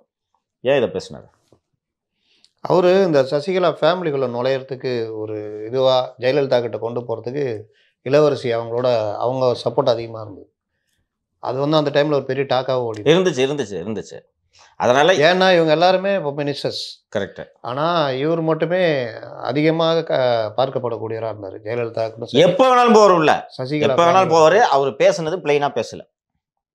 ஸ்டாலின் பேசுனது. அதை போட்டு முடிச்சுட்டு இப்போ ஒரு செயல் வீரர் சிறையில் இருக்கிறாரு அப்படின்னு சொல்லிட்டு எடப்பாடி அப்போ எதிர்கட்சியில் இருந்தா கொள்ளையடிச்சவன் த- கொள்ளை கொள்ளையடிச்சவன் ஆ. உங்க ஆட்சியில் வந்தா செயல் வீரரை மாறிட்டாங்க ஆ, இவரை போய் சிறையில் வச்சிருக்காங்களே அப்புறம் என்ன சிறையில் வைக்காம எங்க வைப்பாங்க? வேணா திகாருக்கு போறீங்களா? அப்படின்ட்டாரு. இது உனக்கு எடுபடுது. ஓகேவா ஃபர்ஸ்ட் ஸ்பீச் ரெண்டாவது ஸ்பீச் போட்டாரு பேசிட்டாரு. நீ எல்லா இடத்துலையும் போயிட்டு இந்த படத்தை இப்படியே காமிச்சிக்கிட்டு இருந்தா மொனாட்டான சார்ல இன்னைக்கு அவர் என்னங்க பேசினாரு? உதயநிதி செந்தில் பாலாஜி பத்தி சொல்லுங்க. செந்தில் பாலாஜி அதாவது மத்திய அரசு திட்டுறாரு. இடி ஐடியை வச்சுலாம் மிரட்டுறாங்க. அப்படி மிரட்டி இவரை உள்ள வச்சிருக்காங்க. எப்படி மிரட்டி ஒருத்தரை உள்ள வைக்க முடியும். உள்ள வச்சிருக்காங்க. நம்முடைய இந்த வே இது தேர்தல் முடிஞ்சோன்னே வெற்றி விழாலை வெற்றி விழாவில் கண்டிப்பாக அவர் பங்கேற்பார் அப்படின்னா அப்போ ஒரு பத்து பேர் எதிரில் கை தட்டுறாங்க. ஆஹ் முத்தலிஃப் இது ஒரு விஷயம் சொல்லுங்க. கலைஞர் இருக்கும்போது அதிமுகல இருந்து வந்து சேர்ந்தது யாரு? கே. கே. சார் ஒருத்தர். கலைஞர் இருக்கும்போது சேர்ந்துட்டார். ராஜகண்ணப்பன் அவர் இருக்கும்போது சேர்ந்துட்டாரு. ஏவா வேலு லெவலெல்லாம் ஒரு மற்ற கட்சியில ஒன்றும் பெரிய லெவலெல்லாம் இல்லைப்பா. ஏப்பா பாக்யராஜ் கட்சி பொதுச் செயலாளர் இருப்பா அவரு. சேகர் பாபுவும் கலைஞர் இருக்கும்போது ஆ கரெக்ட் சேர்ந்துட்டாரு. அவங்களுக்கு எனக்கு இது ஒரு விஷயம் நீங்க தான் சொல்லணும். திமுக காரங்களை விட இவங்களுக்கு கலைஞர் முக்கியத்துவம் கொடுத்துருக்காரு. ஐ மீன் ஒரிஜினலாக கட்சியில் இருக்கவங்களை விட கட்சி மாறி வந்தவங்களுக்கு கூடுதல் முக்கியத்தை முக்கியத்துவத்தை என்னைக்காவது கலைஞர் கொடுத்துருக்காரா? கொடுக்கல. அவர் கூட இருக்கிற அந்த செட்டே பார்த்தீங்கன்னா டிஎம்கே செட்டு தான் இருக்கும். இவருக்கே வந்து இந்த மாவட்ட செயலாளர் பதவின்றது இவர் தான் ரொம்ப சப்போர்ட் பண்ணார் சேகர் பாபுக்கு. மாவட்டத்தை ரெண்டாக பிரித்தாங்க ஞாபகம் இருக்கா அன்பழகன் பிரித்து இவருக்கு கொடுத்தாங்க. அதுக்கு முக்கிய காரணம் சேகர் பாபு இவர் கூடயே சுற்றிட்டு இவர் கார்லேயே பின்னாடி உட்காந்து போகிற அளவுக்கு நெருக்கமாக இருந்தார். அப்போவும் இவர் வந்து இவருக்கு தான் சப்போர்ட் பண்ணியிருந்தார். ஜெய அன்பழகனுக்கு. ஜெய அன்பழகன் தான். இவர் ஜெய அன்பழகனே தூக்கிடணுன்ற முடிவில் இவர் பண்ணியிருந்தார் ஸ்டாலின். கரெக்ட் ஏன்னா ஒரு கலைஞர் லாயலிஸ்ட். கடைசி வரைக்கும் அவர் சாவர வரைக்கும் ஒரு கலைஞர். லாயலிஸ்ட். இந்த கேம்புக்கு போவே இல்லைப்பா அவரு.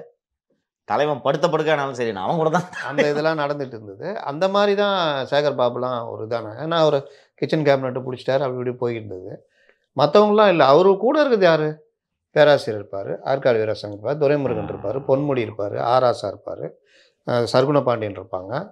அப்புறம் இன்னொருத்தவங்க இப்போ- தென்னரசு கடைசியா ரெண்டாயிரத்தி ஆறுலாம் தென்னரசு தென்னரசு. அப்புறம் அந்தியூர் செல்வராஜ் இந்த மாதிரி தான் செட் தான் இருக்கும். விபி துரைசாமி இப்படி தான் இருக்கும். இவர் பிடிஆருக்கு முன்னாடி பிடிஆருக்கு முன்னாடி பிடிஆரோட அப்பா. அப்பா.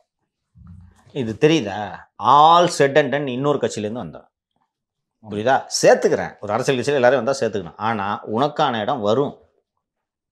இதுல ரெண்டாயிரத்தி ஆறு கேபினெட்ல கே கே எஸ் ஆர் மினிஸ்டரா இருந்தாரு. அப்போ இந்த மாதிரி ராஜகண்ணப்பன்? ராஜகண்ணப்பன். சேகர் பாபு? இல்ல இல்ல அப்ப சேரவே இல்லை. சேகர் பாபு எதிர்கட்சி இது. சேரவே இல்லை சார் சேரவே இல்லை. ரெண்டாயிரத்தி ஆறுல கரெக்ட் ஐம் சாரி வேற? அப்போ இருந்தவங்க. ஏவா வேலை கொடுத்தாங்கன்னு நினைக்கிறேன். நான் வேலு கொடுத்தாங்க. உணவுன்னு நினைக்கிறேன். உணவு? அதான் நான் அரிசி பற்றி பேசி நிர்மலா பெரியசாமி ஒப்பிட்டு பேசி வாங்கி கேட்டினாரு அரிசி எப்படி பல இருக்கணும் அப்படின்ட்டு ஸோ அது. வந்தாலும் ஒரு ஒரு அவங்களால பெரிய பலன் இருந்தாலே ஒழிய இது என்னன்னா இயல்பு இல்லை. நான் காலங்காலமாக உன் கூடவே இருக்கிறேன். எனக்கு இல்லை. வேற கட்சியில இருந்து மாறி வந்தவனுக்கு நீ தூக்கி என்னை விட அவனுக்கு சீனியாரிட்டி கொடுத்து முக்கியத்துவம் கொடுத்தானா அப்போ உன் பின்னாடி நான் சுத்துனது இத்தனை வருஷம் சுத்துனதுக்கு என்ன பிரயோஜனம்? இந்த எண்ணம் எல்லாருக்கும் வருது. ஸோ. அதை பேலன்ஸ் பண்ணணும். அப்பாவுக்கும் தெரில பிள்ளைக்கும் தெரில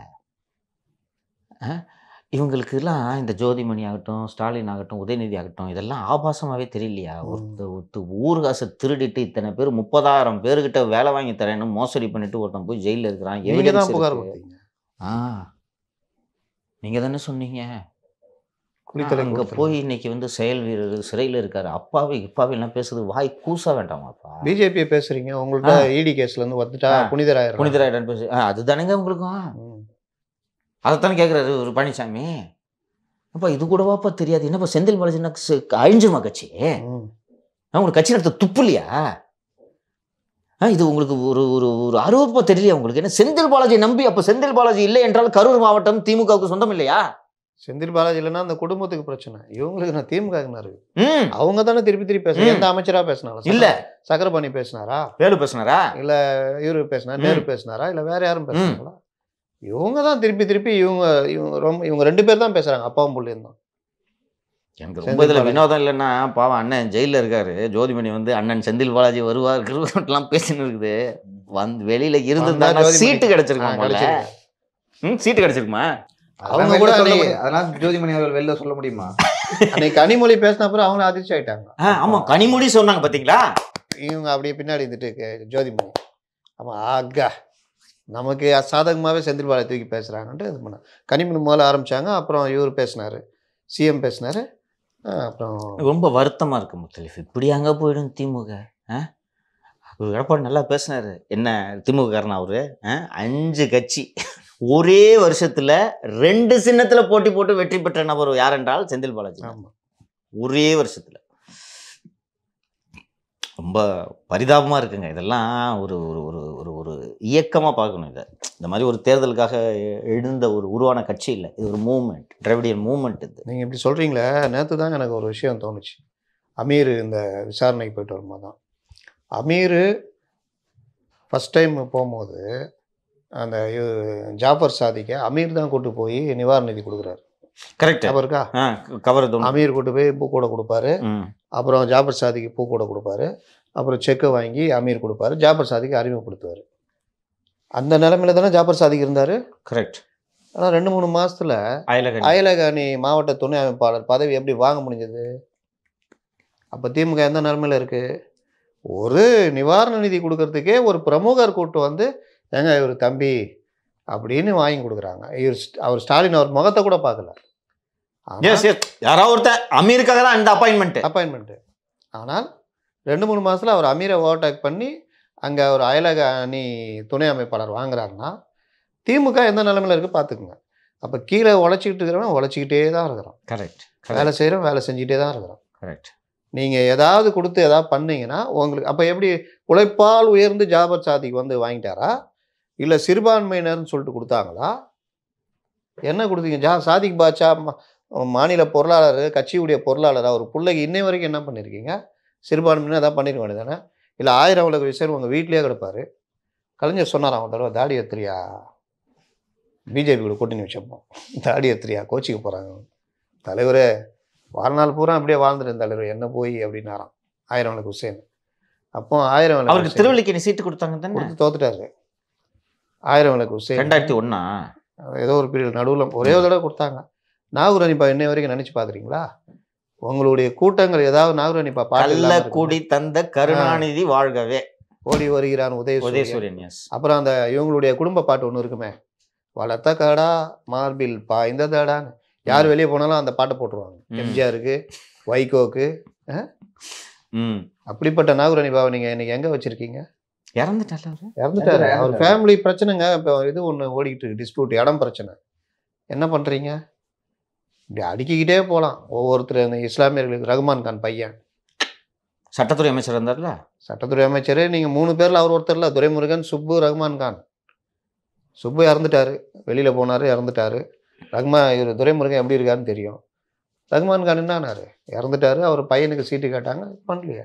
அப்போ நீங்கள் என்ன சிறுபான்மையினர்? போதை மருந்து கடத்துறவனா அவனை தூக்கி சேர்த்துக்குவீங்க சிறுபான்மையினர். அப்புறம் திருப்பி நான் சொல்லணும். சிறுபான்மை சமூகத்தைச் சேர்ந்த ஒருவன் சத்துமாவு விற்றதை கூட குற்றம் என்று கூறும் இந்த உலகம்னு சொல்ல ஆரம்பிச்சு சொல்லுங்க. தைரியம் தான் சொல்ல சொல்லுங்க. அவன் ஒருவர் கடத்தினான் என்றவுடன் நீக்கிவிட்டோம் பேரை கூட சொல்றதுக்கு பயம் வருதுல்ல? இதுதான் இன்னைக்கு டிஎம்கே உடைய இது பேசிக் கட்டமைப்பு. நான் சரியா சொல்றேன் நான் சொல்லுங்க. கொஞ்சம் கொஞ்சமா கலகலத்துக்கிட்டே இருக்குன்ட்டு சொல்லலாமா? ஆமா. இவ- இவங்க என்ன பண்றாங்க? கட்சி யா- கட்சியை யார் தலைமை தாங்கணும்? கட்சியை யார் வழி நடத்தணும்? கட்சிக்குள்ள கொள்கைகளை பதவி கொடுக்கணும்? நம்ம ஏற்கனவே பேசணும். கொள்கைகளை அடுத்த கட்டத்துக்கு நகர்த்தணும். அப்டேட் ஆகணும்னா என்னென்னலாம் பண்ணணும்? புதுப்பிச்சுக்கணும். புதுப்பிச்சுக்கணும். அப்புறம் இளைஞர்கள்ட்ட எப்படி கொண்டு போகணும்? இது நீங்கள் என்ன இதில் எங்கே நீங்கள் கொண்டு வர்றீங்க? இந்த நீங்கள் முதல்வர் ஆனவுடனே யூடியூபர்ஸ் பத்து பேரை கூப்பிட்டு நிப்பாட்டுறீங்க. அந்த பத்து பேரும் எப்படிப்பட்டவனுங்க? எவனாவது அஞ்சு பிசா துட்டுக்காக தான் அவன் கூட நிற்கிறான் அப்சல்யூட்லி நாளைக்கு ஏடிஎம் ஆட்சி வந்து அங்கே போயிட்டு உன்னை திட்ட சொன்னால் துட்டை வாங்கி திட்டுவான். பெய்டு ஆ. கூலிஸ் அவங்க. அவன் என்ன போடுறீங்க? தகவல் தொழில்நுட்ப நிபுணர்கள்.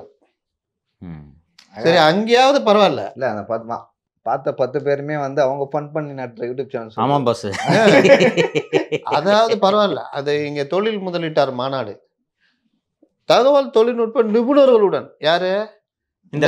சமையல் இதெல்லாம் பண்ணிட்டு போல அந்த பையன் பேர்னா? இர்ஃபானா? இர்ஃபானு யூடியூப் ரூட்டஸு இந்த மாதிரி யூடர்னு இவங்கெல்லாம் அப் டர்னு டவுன் டர்னு இது எல்லாம் இவங்க தகவல் தொழில்நுட்ப இது. இன்னைக்கு என்ன வேலை பண்ணிட்டு இருக்கிறாங்க? இவங்களுக்கு ஆதரவாக வீடியோ போட்டு கொச்ச கொச்சையா அடுத்தவங்கள இவங்களுக்கு எதிராக பேசுறவங்கள திட்டிக்கிட்டு இருக்கிறாங்க. ஓப்பனாக சொன்னால் நம்மள திட்டிகிட்டு இருக்கிறாங்க. இவங்களுக்கு இவங்க கூட எல்லாம் சகவாசமே வச்சுக்க இவங்க புத்தி எப்படிதான் இவங்களுக்கு அது பண்றது இவங்களுக்கு எல்லாம் அப்படி ஓப்பானது நான் அதை என்ன சொல்ல வரேன்னா பாதம் தாங்கி பழனிசாமி தவழ்ந்து போய் நீ என்ன காட்டின? இப்படி பேசுகிற உன்னுடைய இந்த எண்ணத்துக்கு ஏற்ற மாதிரி தான் அதுக்கேற்ற ஆளு உன்கிட்ட வர்றான் நீ சேர்த்துக்கிற. சேர்த்துக்கிற. அப்ப அண்ணன் இப்படி பேசுறாரு. அண்ணனை விட அசிங்கமா பேசுனா அண்ணனுக்கு. பிடிக்கும். அப்படின்னு. சாட்டை தூரம் ட்ரை பண்ணலாம். விட்டு விட்டா போயிடுவான் நீ. போயிடுவாங்க அப்போ ஏதோ அப்போ இந்த பார்த்துக்கிட்டே இருப்பான். இந்த முறையும் பயிற்சி தான் போல. நம்ம அங்க போய் பயிற்சி எடுக்கலாம்னு போயிடுவோம். ராஜீவ்காந்தி ஆமாம் இடம் கொடுத்தா அது. ராஜீவ்காந்தி ஒருத்தர் தான் அந்த இதுலேருந்து வந்து கொஞ்சம் ஒழுங்காக பேசிகிட்டு இருக்காருன்னு நினைக்கிறேன். மற்றபடி இந்த மாதிரி பேசுகிற ஆட்கள் தான் தேவைன்னா இவங்க மனநிலை எப்படி இருக்கும்? அதுக்கப்புறம் கட்சிக்குள்ள நிர்வாகிகள் போஸ்ட் யாரை கொடுக்குறா? ஜாபர் சாதிக் மாதிரி ஆட்கள். எவன் பணம் கொடுக்குறானோ அவன். தாவேலுன்னு ஒருத்தர் இருக்காரு. அவர் எப்படி வந்தார்? அவர் அவர் அந்த இதுக்குள்ளே யாருக்காவது தெரியுமா? கட்சிக்காரனை தாண்டி அவர் ரோட்டில் போனாருன்னா வண்டி விட்டுருங்க. ஒரு ஆட்டோவில் போக சொல்லுங்கள் இவர் மாவட்ட செயலர் யாருக்காவது தெரியுமா? இங்கே சிற்றரசு. இந்த மாதிரி பல இடங்கள்ல யாருக்கு யாரு தெரியும்? இது நமக்கு தெரிந்த பெயர்கள் இன்னும் ஒவ்வொரு மாவட்டமா எடுத்தாலும் இது மாதிரி வண்டி வண்டியா கதைகள் இருக்கும். அந்த கிருஷ்ணகிரியில் மதியழகன் ஒரு ஆள் பெரிய பணக்காரன் கோடீஸ்வரன் க்ரஷ் அதுன்னு வச்சு இப்போவும் ஆயிரம் இது நடந்துக்கிட்டு இருக்குது. அப்படிப்பட்ட ஆள் ரஜினி ரசிகர் மட்டத்தில் ரஜினி கட்சி தொடங்கலன்னு சரி அடுத்து துட்டை கொடுத்து இங்கே போகலாம் நீங்கள் வந்துட்டு ஃபேமிலி வரைக்கும் துட்டை கொடுத்து நீங்கள் வெயிட்டாக மாவட்ட செயலாளர். மாவட்ட செயலாளர். எம்எல்ஏ. நெரு நேருக்கு நம்பி நெருக்கமானவர். அப்போ இது கட்சி நீங்கள் எந்த அடையாளத்தை நீங்கள் சொல்லுவீங்க? திமுகவுக்கு ஒரு அடையாளம் அப்படின்னு வேணும்னா ஒரு அடையாளம் சொல்லணும்ல. இவர் பாரம்பரியமாக இவர் வந்தார். இவர் பாரம்பரியமாக வந்தார். இந்த குடும்பம் பாரம்பரிய குடும்பம் அப்படின்னு. என்ன இருக்குது? அவங்க எல்லாரையும் ஓரம் கட்டி இந்த மாதிரி வாரங்களாம் வந்தால் பிரச்சனை வந்தால் ஓடி போயிடுவாங்க எல்லாரும். கரெக்ட் இந்த கும்பலும் ஓடி போயிடும். தகவல் தொழில்நுட்ப இந்த கும்பல் வந்து இன்னைக்கு அதிகாரத்தை சுவைக்கலான்னு வர்ற கும்பல். சிக்கல் வரும்போது இந்த கும்பல் கொள்கையின் அடிப்படையில வர்றவன் என் கட்சிடா? போராட்டா ஜெயிலுக்கு தலைவனுக்காகட்டு வருவான். திமுகவை ஜெயலலிதா காலத்துலேயும் திமுக ஆதரவாக இருந்தோம்னா நக்கீரன் கோபால் மட்டும்தான் சொல்லலாம். மற்றவங்கெல்லாம் அப்படி இப்படி இருந்த ஆட்கள். ஆனால் ஒரு இந்த ஒரு கட்டத்தில் பார்த்தீங்கன்னா ரெண்டாயிரத்தி இருபத்தொன்னில் அப்படியே ஒரு கும்பல் சேர்ந்துச்சு. கரெக்டுங்க இன்னைக்கு அந்த கும்பல் தான் ஓட்டின்னு இருக்குது. இவங்க எப்படி பார்க்குறாங்கன்னா ஒரு கொஞ்சம் கொஞ்சம் அப்படி இப்படி வராங்களா? ஆ இவர் பெரிய இவர் இவர் கூட வச்சுக்கலாம். அப்போ அவனுடைய நாலேஜை நீ ஏற்று ஏன்னா உன்ட்ட நாலேஜ் இல்லை. அவன் சொல்கிறத ஏற்றுக்கினா முட்டு சந்து போயினே ஆ, இது கரெக்ட் நீங்க ஒரு உதயநிதி ஒரு ரெண்டு வருஷம் முன்னாடி இருக்கும்னு நினைக்கிறேன். வரிசையா எல்லாரும் கூடயும் இந்த போலோ நண்பர்கள் இந்த மாதிரி குரூப் கூட எல்லாம் போயிட்டு எல்லாரும் கூட போட்டோ எடுத்துட்டு இருந்தாரு. ஞாபகம். இருக்கா? ஞாபகம் இருக்கா? அதெல்லாம் என்னன்னா சிந்தனையாளர்கள் கூட எல்லாம் ஒரு பழகி சிந்தனை வளர்த்துக்கலாம் சாக்ரட்டிஸ்லாம் எழுதியிருந்தாங்கல்ல? ஆனா எந்த சிந்தனையும் வளரல. மாறா இருக்கிற புத்தி தான் இன்னும் மழுங்கிக்கிட்டே போறது மாதிரி தான் அவரோட ஸ்பீச்சஸ் எல்லாம் இருக்குங்க. பத்தட்டிக் முத்தலிஃப் இஸ் பத்தட்டிக் இது அவருக்கான களம் இந்த ரெண்டாயிரத்தி பத்தொம்போது டு இருபத்தி நாலு நீங்கள் அரசியல் தலைவராக ஆட்சியாளராக ஒரு தலைவனாக கலைஞரின் பேரன் சொல்லுகிறார்ல அதற்கு எப்படி உருவாகணுன்றதுக்கான இது யாராருமா படிக்கலாம். சம்மந்தப்பட்ட அது சம்மந்தப்பட்ட ஆட்கள்கிட்ட பேசலாம். என்னென்ன பண்ண முடியுமோ டெவலப் பண்ணிக்கணும். ஜெயலலிதா பண்ணாங்கல்ல எண்பத்தி ரெண்டில் வரும்போது எனக்கு தெரிஞ்சு நான் எண்பத்தி ஒன்றில் அப்போ கோஆப்டெக்ஸ் இங்கே இது நடக்கும் பொருட்காட்சி. அப்போல்லாம் சின்ன வயசில் போவோம்.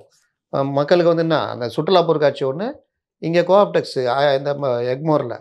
அதுலேயும் அந்த பொருள் துணிகள்லாம் போட்டிருப்பான். எல்லாரும் போய் வேடிக்கை பார்ப்போம். அந்த விழாவில் தான் பன்ருட்டி ராமச்சந்திரன் அப்போ அமைச்சர். அவர் இது விழாவில் ஜெயலலிதா ஃபஸ்ட் டைம் வராங்க. அந்த விழாவில் ஒரு கெஸ்ட்டாக கலந்துக்கிறாங்க. அப்போ ஏடிஎம்களை சேரல. அப்போ அவர் பன்ருட்டி ராமச்சந்திரன் பேசுகிறாரு சினிமாவில் மட்டுமே பார்த்த இவங்க இன்றைக்கி நம்ம ஃபங்க்ஷனில் கவர்மெண்ட் ஃபங்க்ஷன் கலந்துக்கிறாங்க அப்படின்னு பேசுகிறாரு இது முடிஞ்ச கொஞ்சம் மாதங்கள்லேயே அவங்க கட்சியில் சேர்றாங்க. ஏன்னா அவங்க வந்து திரையுலகத்தில் நதி தேடி வந்த கடல் கடைசி படம். ஒன்றும் இல்லை. சரத்பாபு ஹீரோ இல்லாமல் போய் அது ரிலீஸ் ஆச்சு? ரிலீஸ் ஆச்சு ஓடலை.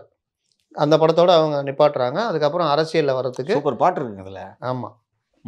அதுக்கப்புறம் இங்கே வந்துடுறாங்க. ஆனால் வந்த பிறகு அவங்களுக்கு ரெண்டு மூணு பதவி கொடுக்குறாரு எம்ஜிஆர். தாய் பத்திரிகையில் கட்டுரை எழுத சொல்கிறாரு. அதில் தான் வலம்புரி ஜானுக்கெல்லாம் திட்டு விழுந்தது. ம். ஸ்கவுண்ட்ரல் ஸ்டூபிட்னு. அவருக்கு எதிர்பார்க்கவே இல்லை. அதில் கட்டுரை எழுதுறாங்க. ப்ளஸ்ஸு சிறுசேமிப்பு திட்டமாக இது சத்துணவு திட்டம் இதுக்கு ஒருங்கிணைப்பாளர். அதை பயன்படுத்தி அவங்க தமிழ்நாடு ஃபுல்லாக சுற்றுறாங்க நாலேஜை வளர்த்துக்கிறாங்க. எங்க போயிட்டாங்க? அப்புறம் கொள்கை பரப்பு கொள்கை பரப்பு செயலாளர் அதுக்கு முன்னாடி ஆரம் வீரப்பன் போன்ற லெஜெண்டுக்கு ஈக்குவலா தன்னை பொசிஷன். பண்ணிட்டாங்க. கரெக்ட் ரொம்ப. முக்கியம்.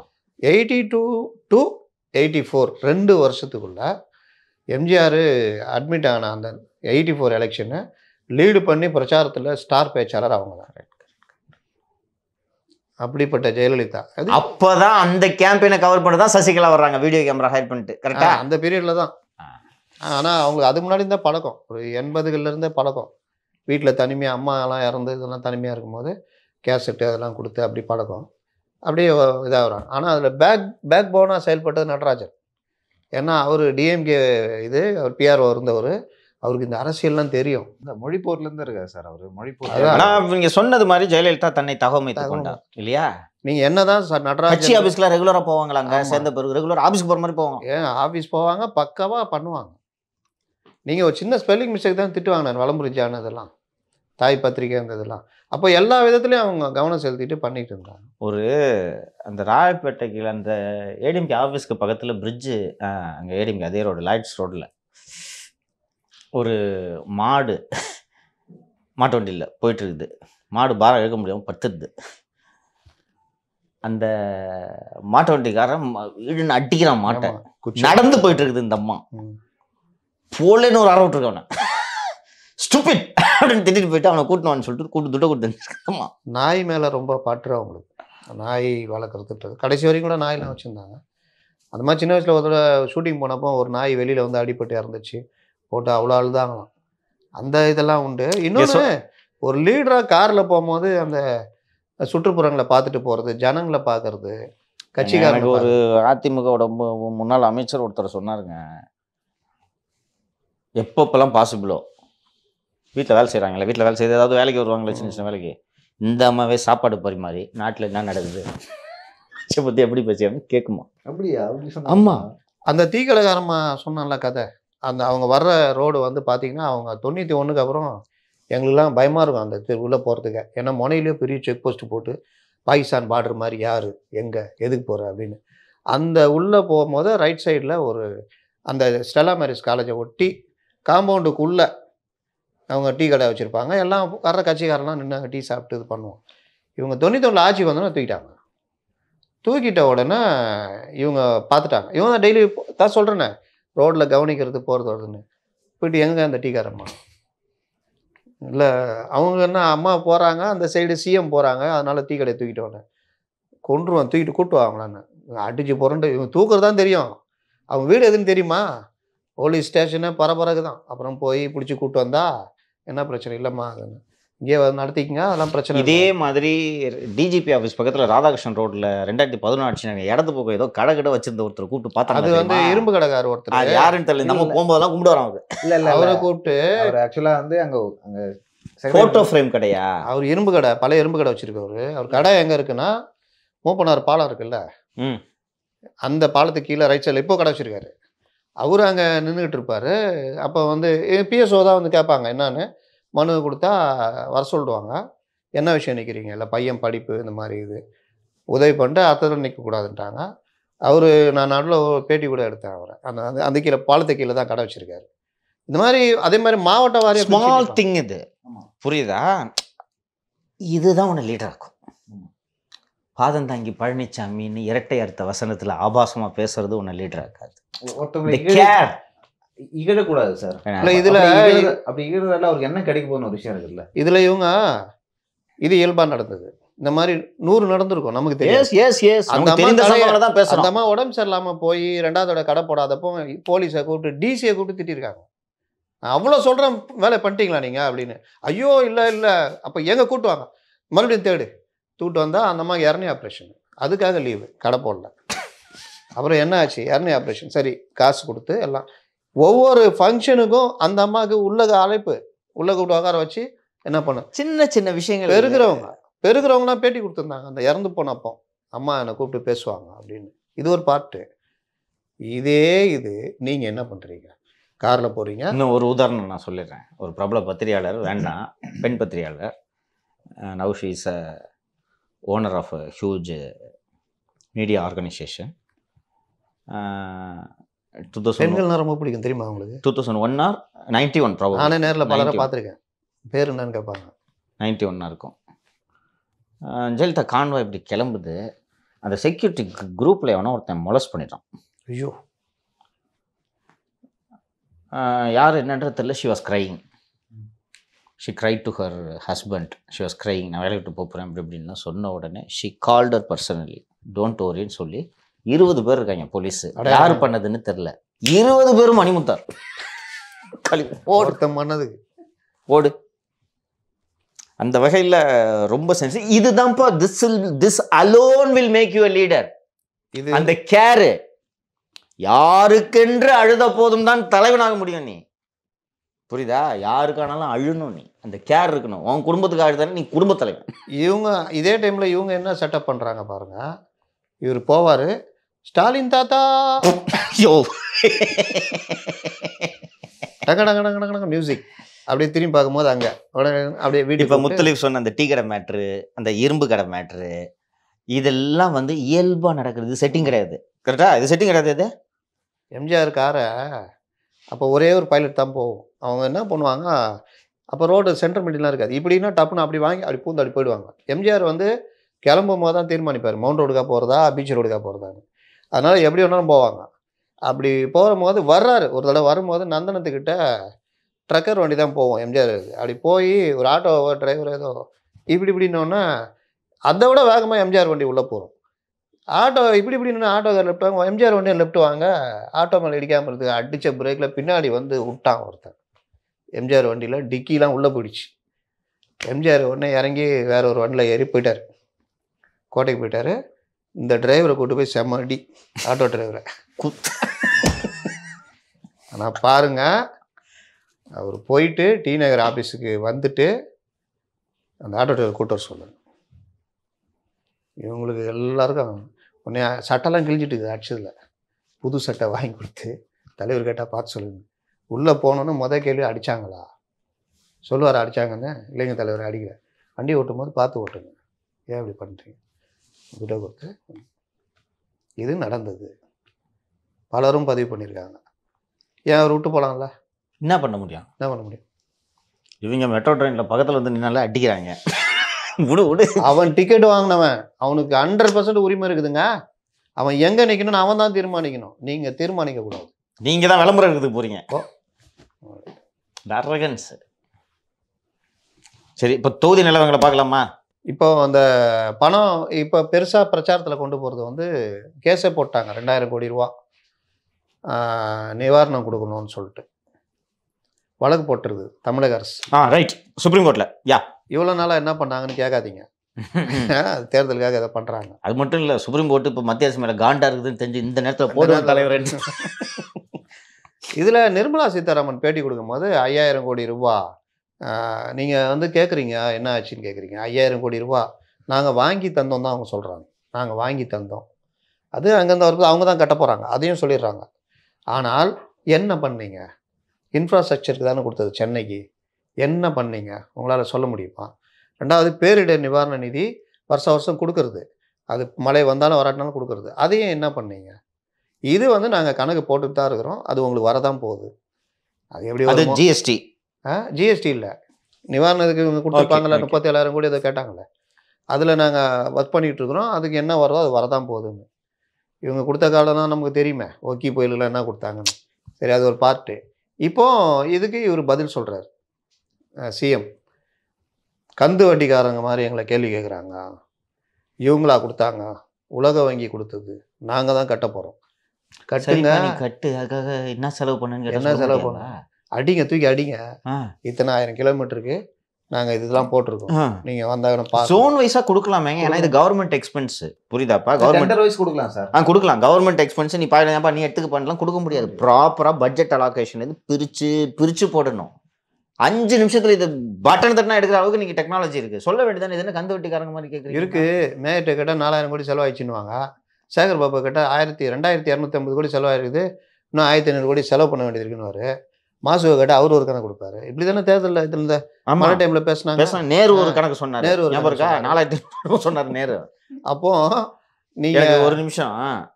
இவங்க ஆளுகள் ஒரு நம்பர் சொல்றாங்களே. திருடிட்டாங்களா உண்மையிலே. நீங்க உண்மையிலேயே நான் என்ன சொல்றேன்? விசாரணை வைக்கட்டும். இல்லை நீங்க வெள்ளை அறிக்கை கொடுங்க. சென்னை வந்து தண்ணியில் எப்படி போச்சு மூழ்குச்சுன்னு எல்லாருக்குமே தெரியும். அன்னைக்கு எல்லாருடைய வாயிலையும் நாலாயிரம் கோடி ரூபா நீங்கள் தானேங்க சொன்னீங்க மழைநீர் வடிகால்னு. உங்களுக்காக நாங்கள் டிராஃபிக் ஜாம்லேருந்து எல்லாத்தையும் பொறுத்துக்கிட்டோம். என்னங்க இப்படி இருக்கு? முன்னே விட மோசமாக இருக்குதாங்க.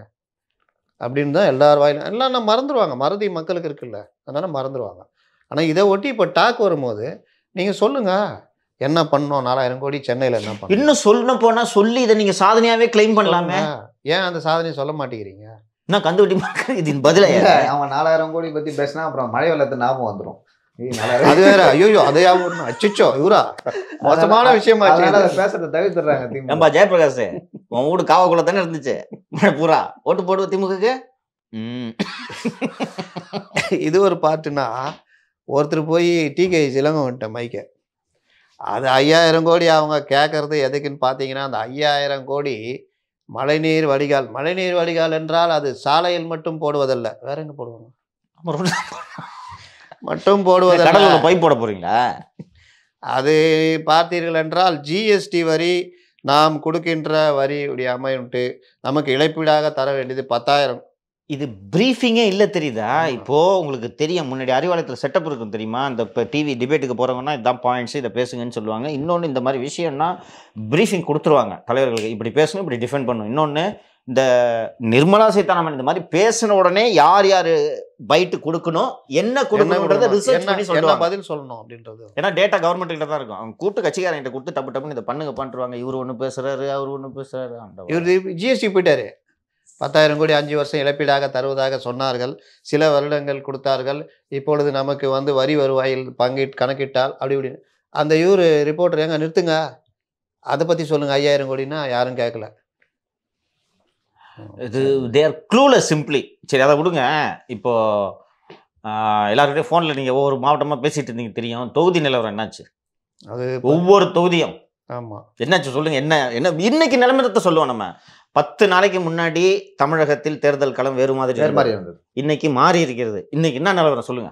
ஏ- அதாவது ஆரம்பிச்சப்போ ரொம்ப நல்லா தான் போச்சு. அவன்கிட்ட ஆரம்பம் நல்லா இருக்குப்பா ஃபினிஷிங் சரியில்லைன்ற மாதிரி போய்கிட்டு இருக்கு. கொஞ்சம் டீட்டெயில்டாக பேச வேண்டியிருக்குது. சரி. கொஞ்சம் நீங்க easier கலெக்ட் பண்ணி வைங்க. எல்லா டீட்டெயிலும் கலெக்ட் பண்ணி இந்த பாருங்க டீட்டெயிலாக பேச பேச வேண்டியதுன்னா பத்தாம் போதெல்லாம் சொல்லக்கூடாது. நான் ஒவ்வொரு தொகுதியும் கேட்பேன். ம். லிஸ்ட் கையில் வச்சுட்டு கேட்பேன். சொல்லணும் நீங்க. ரைட்டா சரிங்க சார். நம்ம தொடர்ந்து அரசியலத்தில் பேசலாம். எனக்கு தெரிஞ்ச அடுத்த எபிசோட்ல வந்து தொகுதி வாரியாக யார் முன்னணியில் இருக்காங்க? யாருக்கு வெற்றி வாய்ப்பு இருக்கு? அப்படின்னு சொல்லிட்டு நிறைய விஷயங்களை பேசலாம். அண்டு நேயர்கள் ரொம்ப எதிர்பார்ப்போட இருப்பாங்க. குறிப்பா இந்த விஷயத்த. இது அட்லீஸ்ட் ஒரு த்ரீ ஃபோர் டேஸ்க்கு ஒரு வாட்டி ஏன்னா நிலைமை மாறிட்டு இருக்குங்க. ரெண்டு மூன்று நாட்களுக்கு ஒரு முறை மாறிட்டு இருக்கு. அதாவது இப்போ சிஎம்ஓ எடப்பாடியோ ஒரு இடத்துக்கு போய் பேசிட்டு போனாங்கன்னா கொஞ்சம் சேஞ்ச் தெரியுது கிரவுண்டில் சர்வேஸும் ஒவ்வொரு இது எல்லாம் தாண்டி விட்டமின் சி ஒன்று இருக்குது. அது கடைசி நேரம். அதுக்கப்புறம் தெம்பாயிடுவாங்க. யார் தெம்பாகிறாங்கன்றது அது அதனால நல்ல டீட்டெயிலாக பேசுகிறா நேர்களை எதிர்பார்க்குறாங்க. சரிங்க சார். ரொம்ப நன்றி உங்க கருத்து.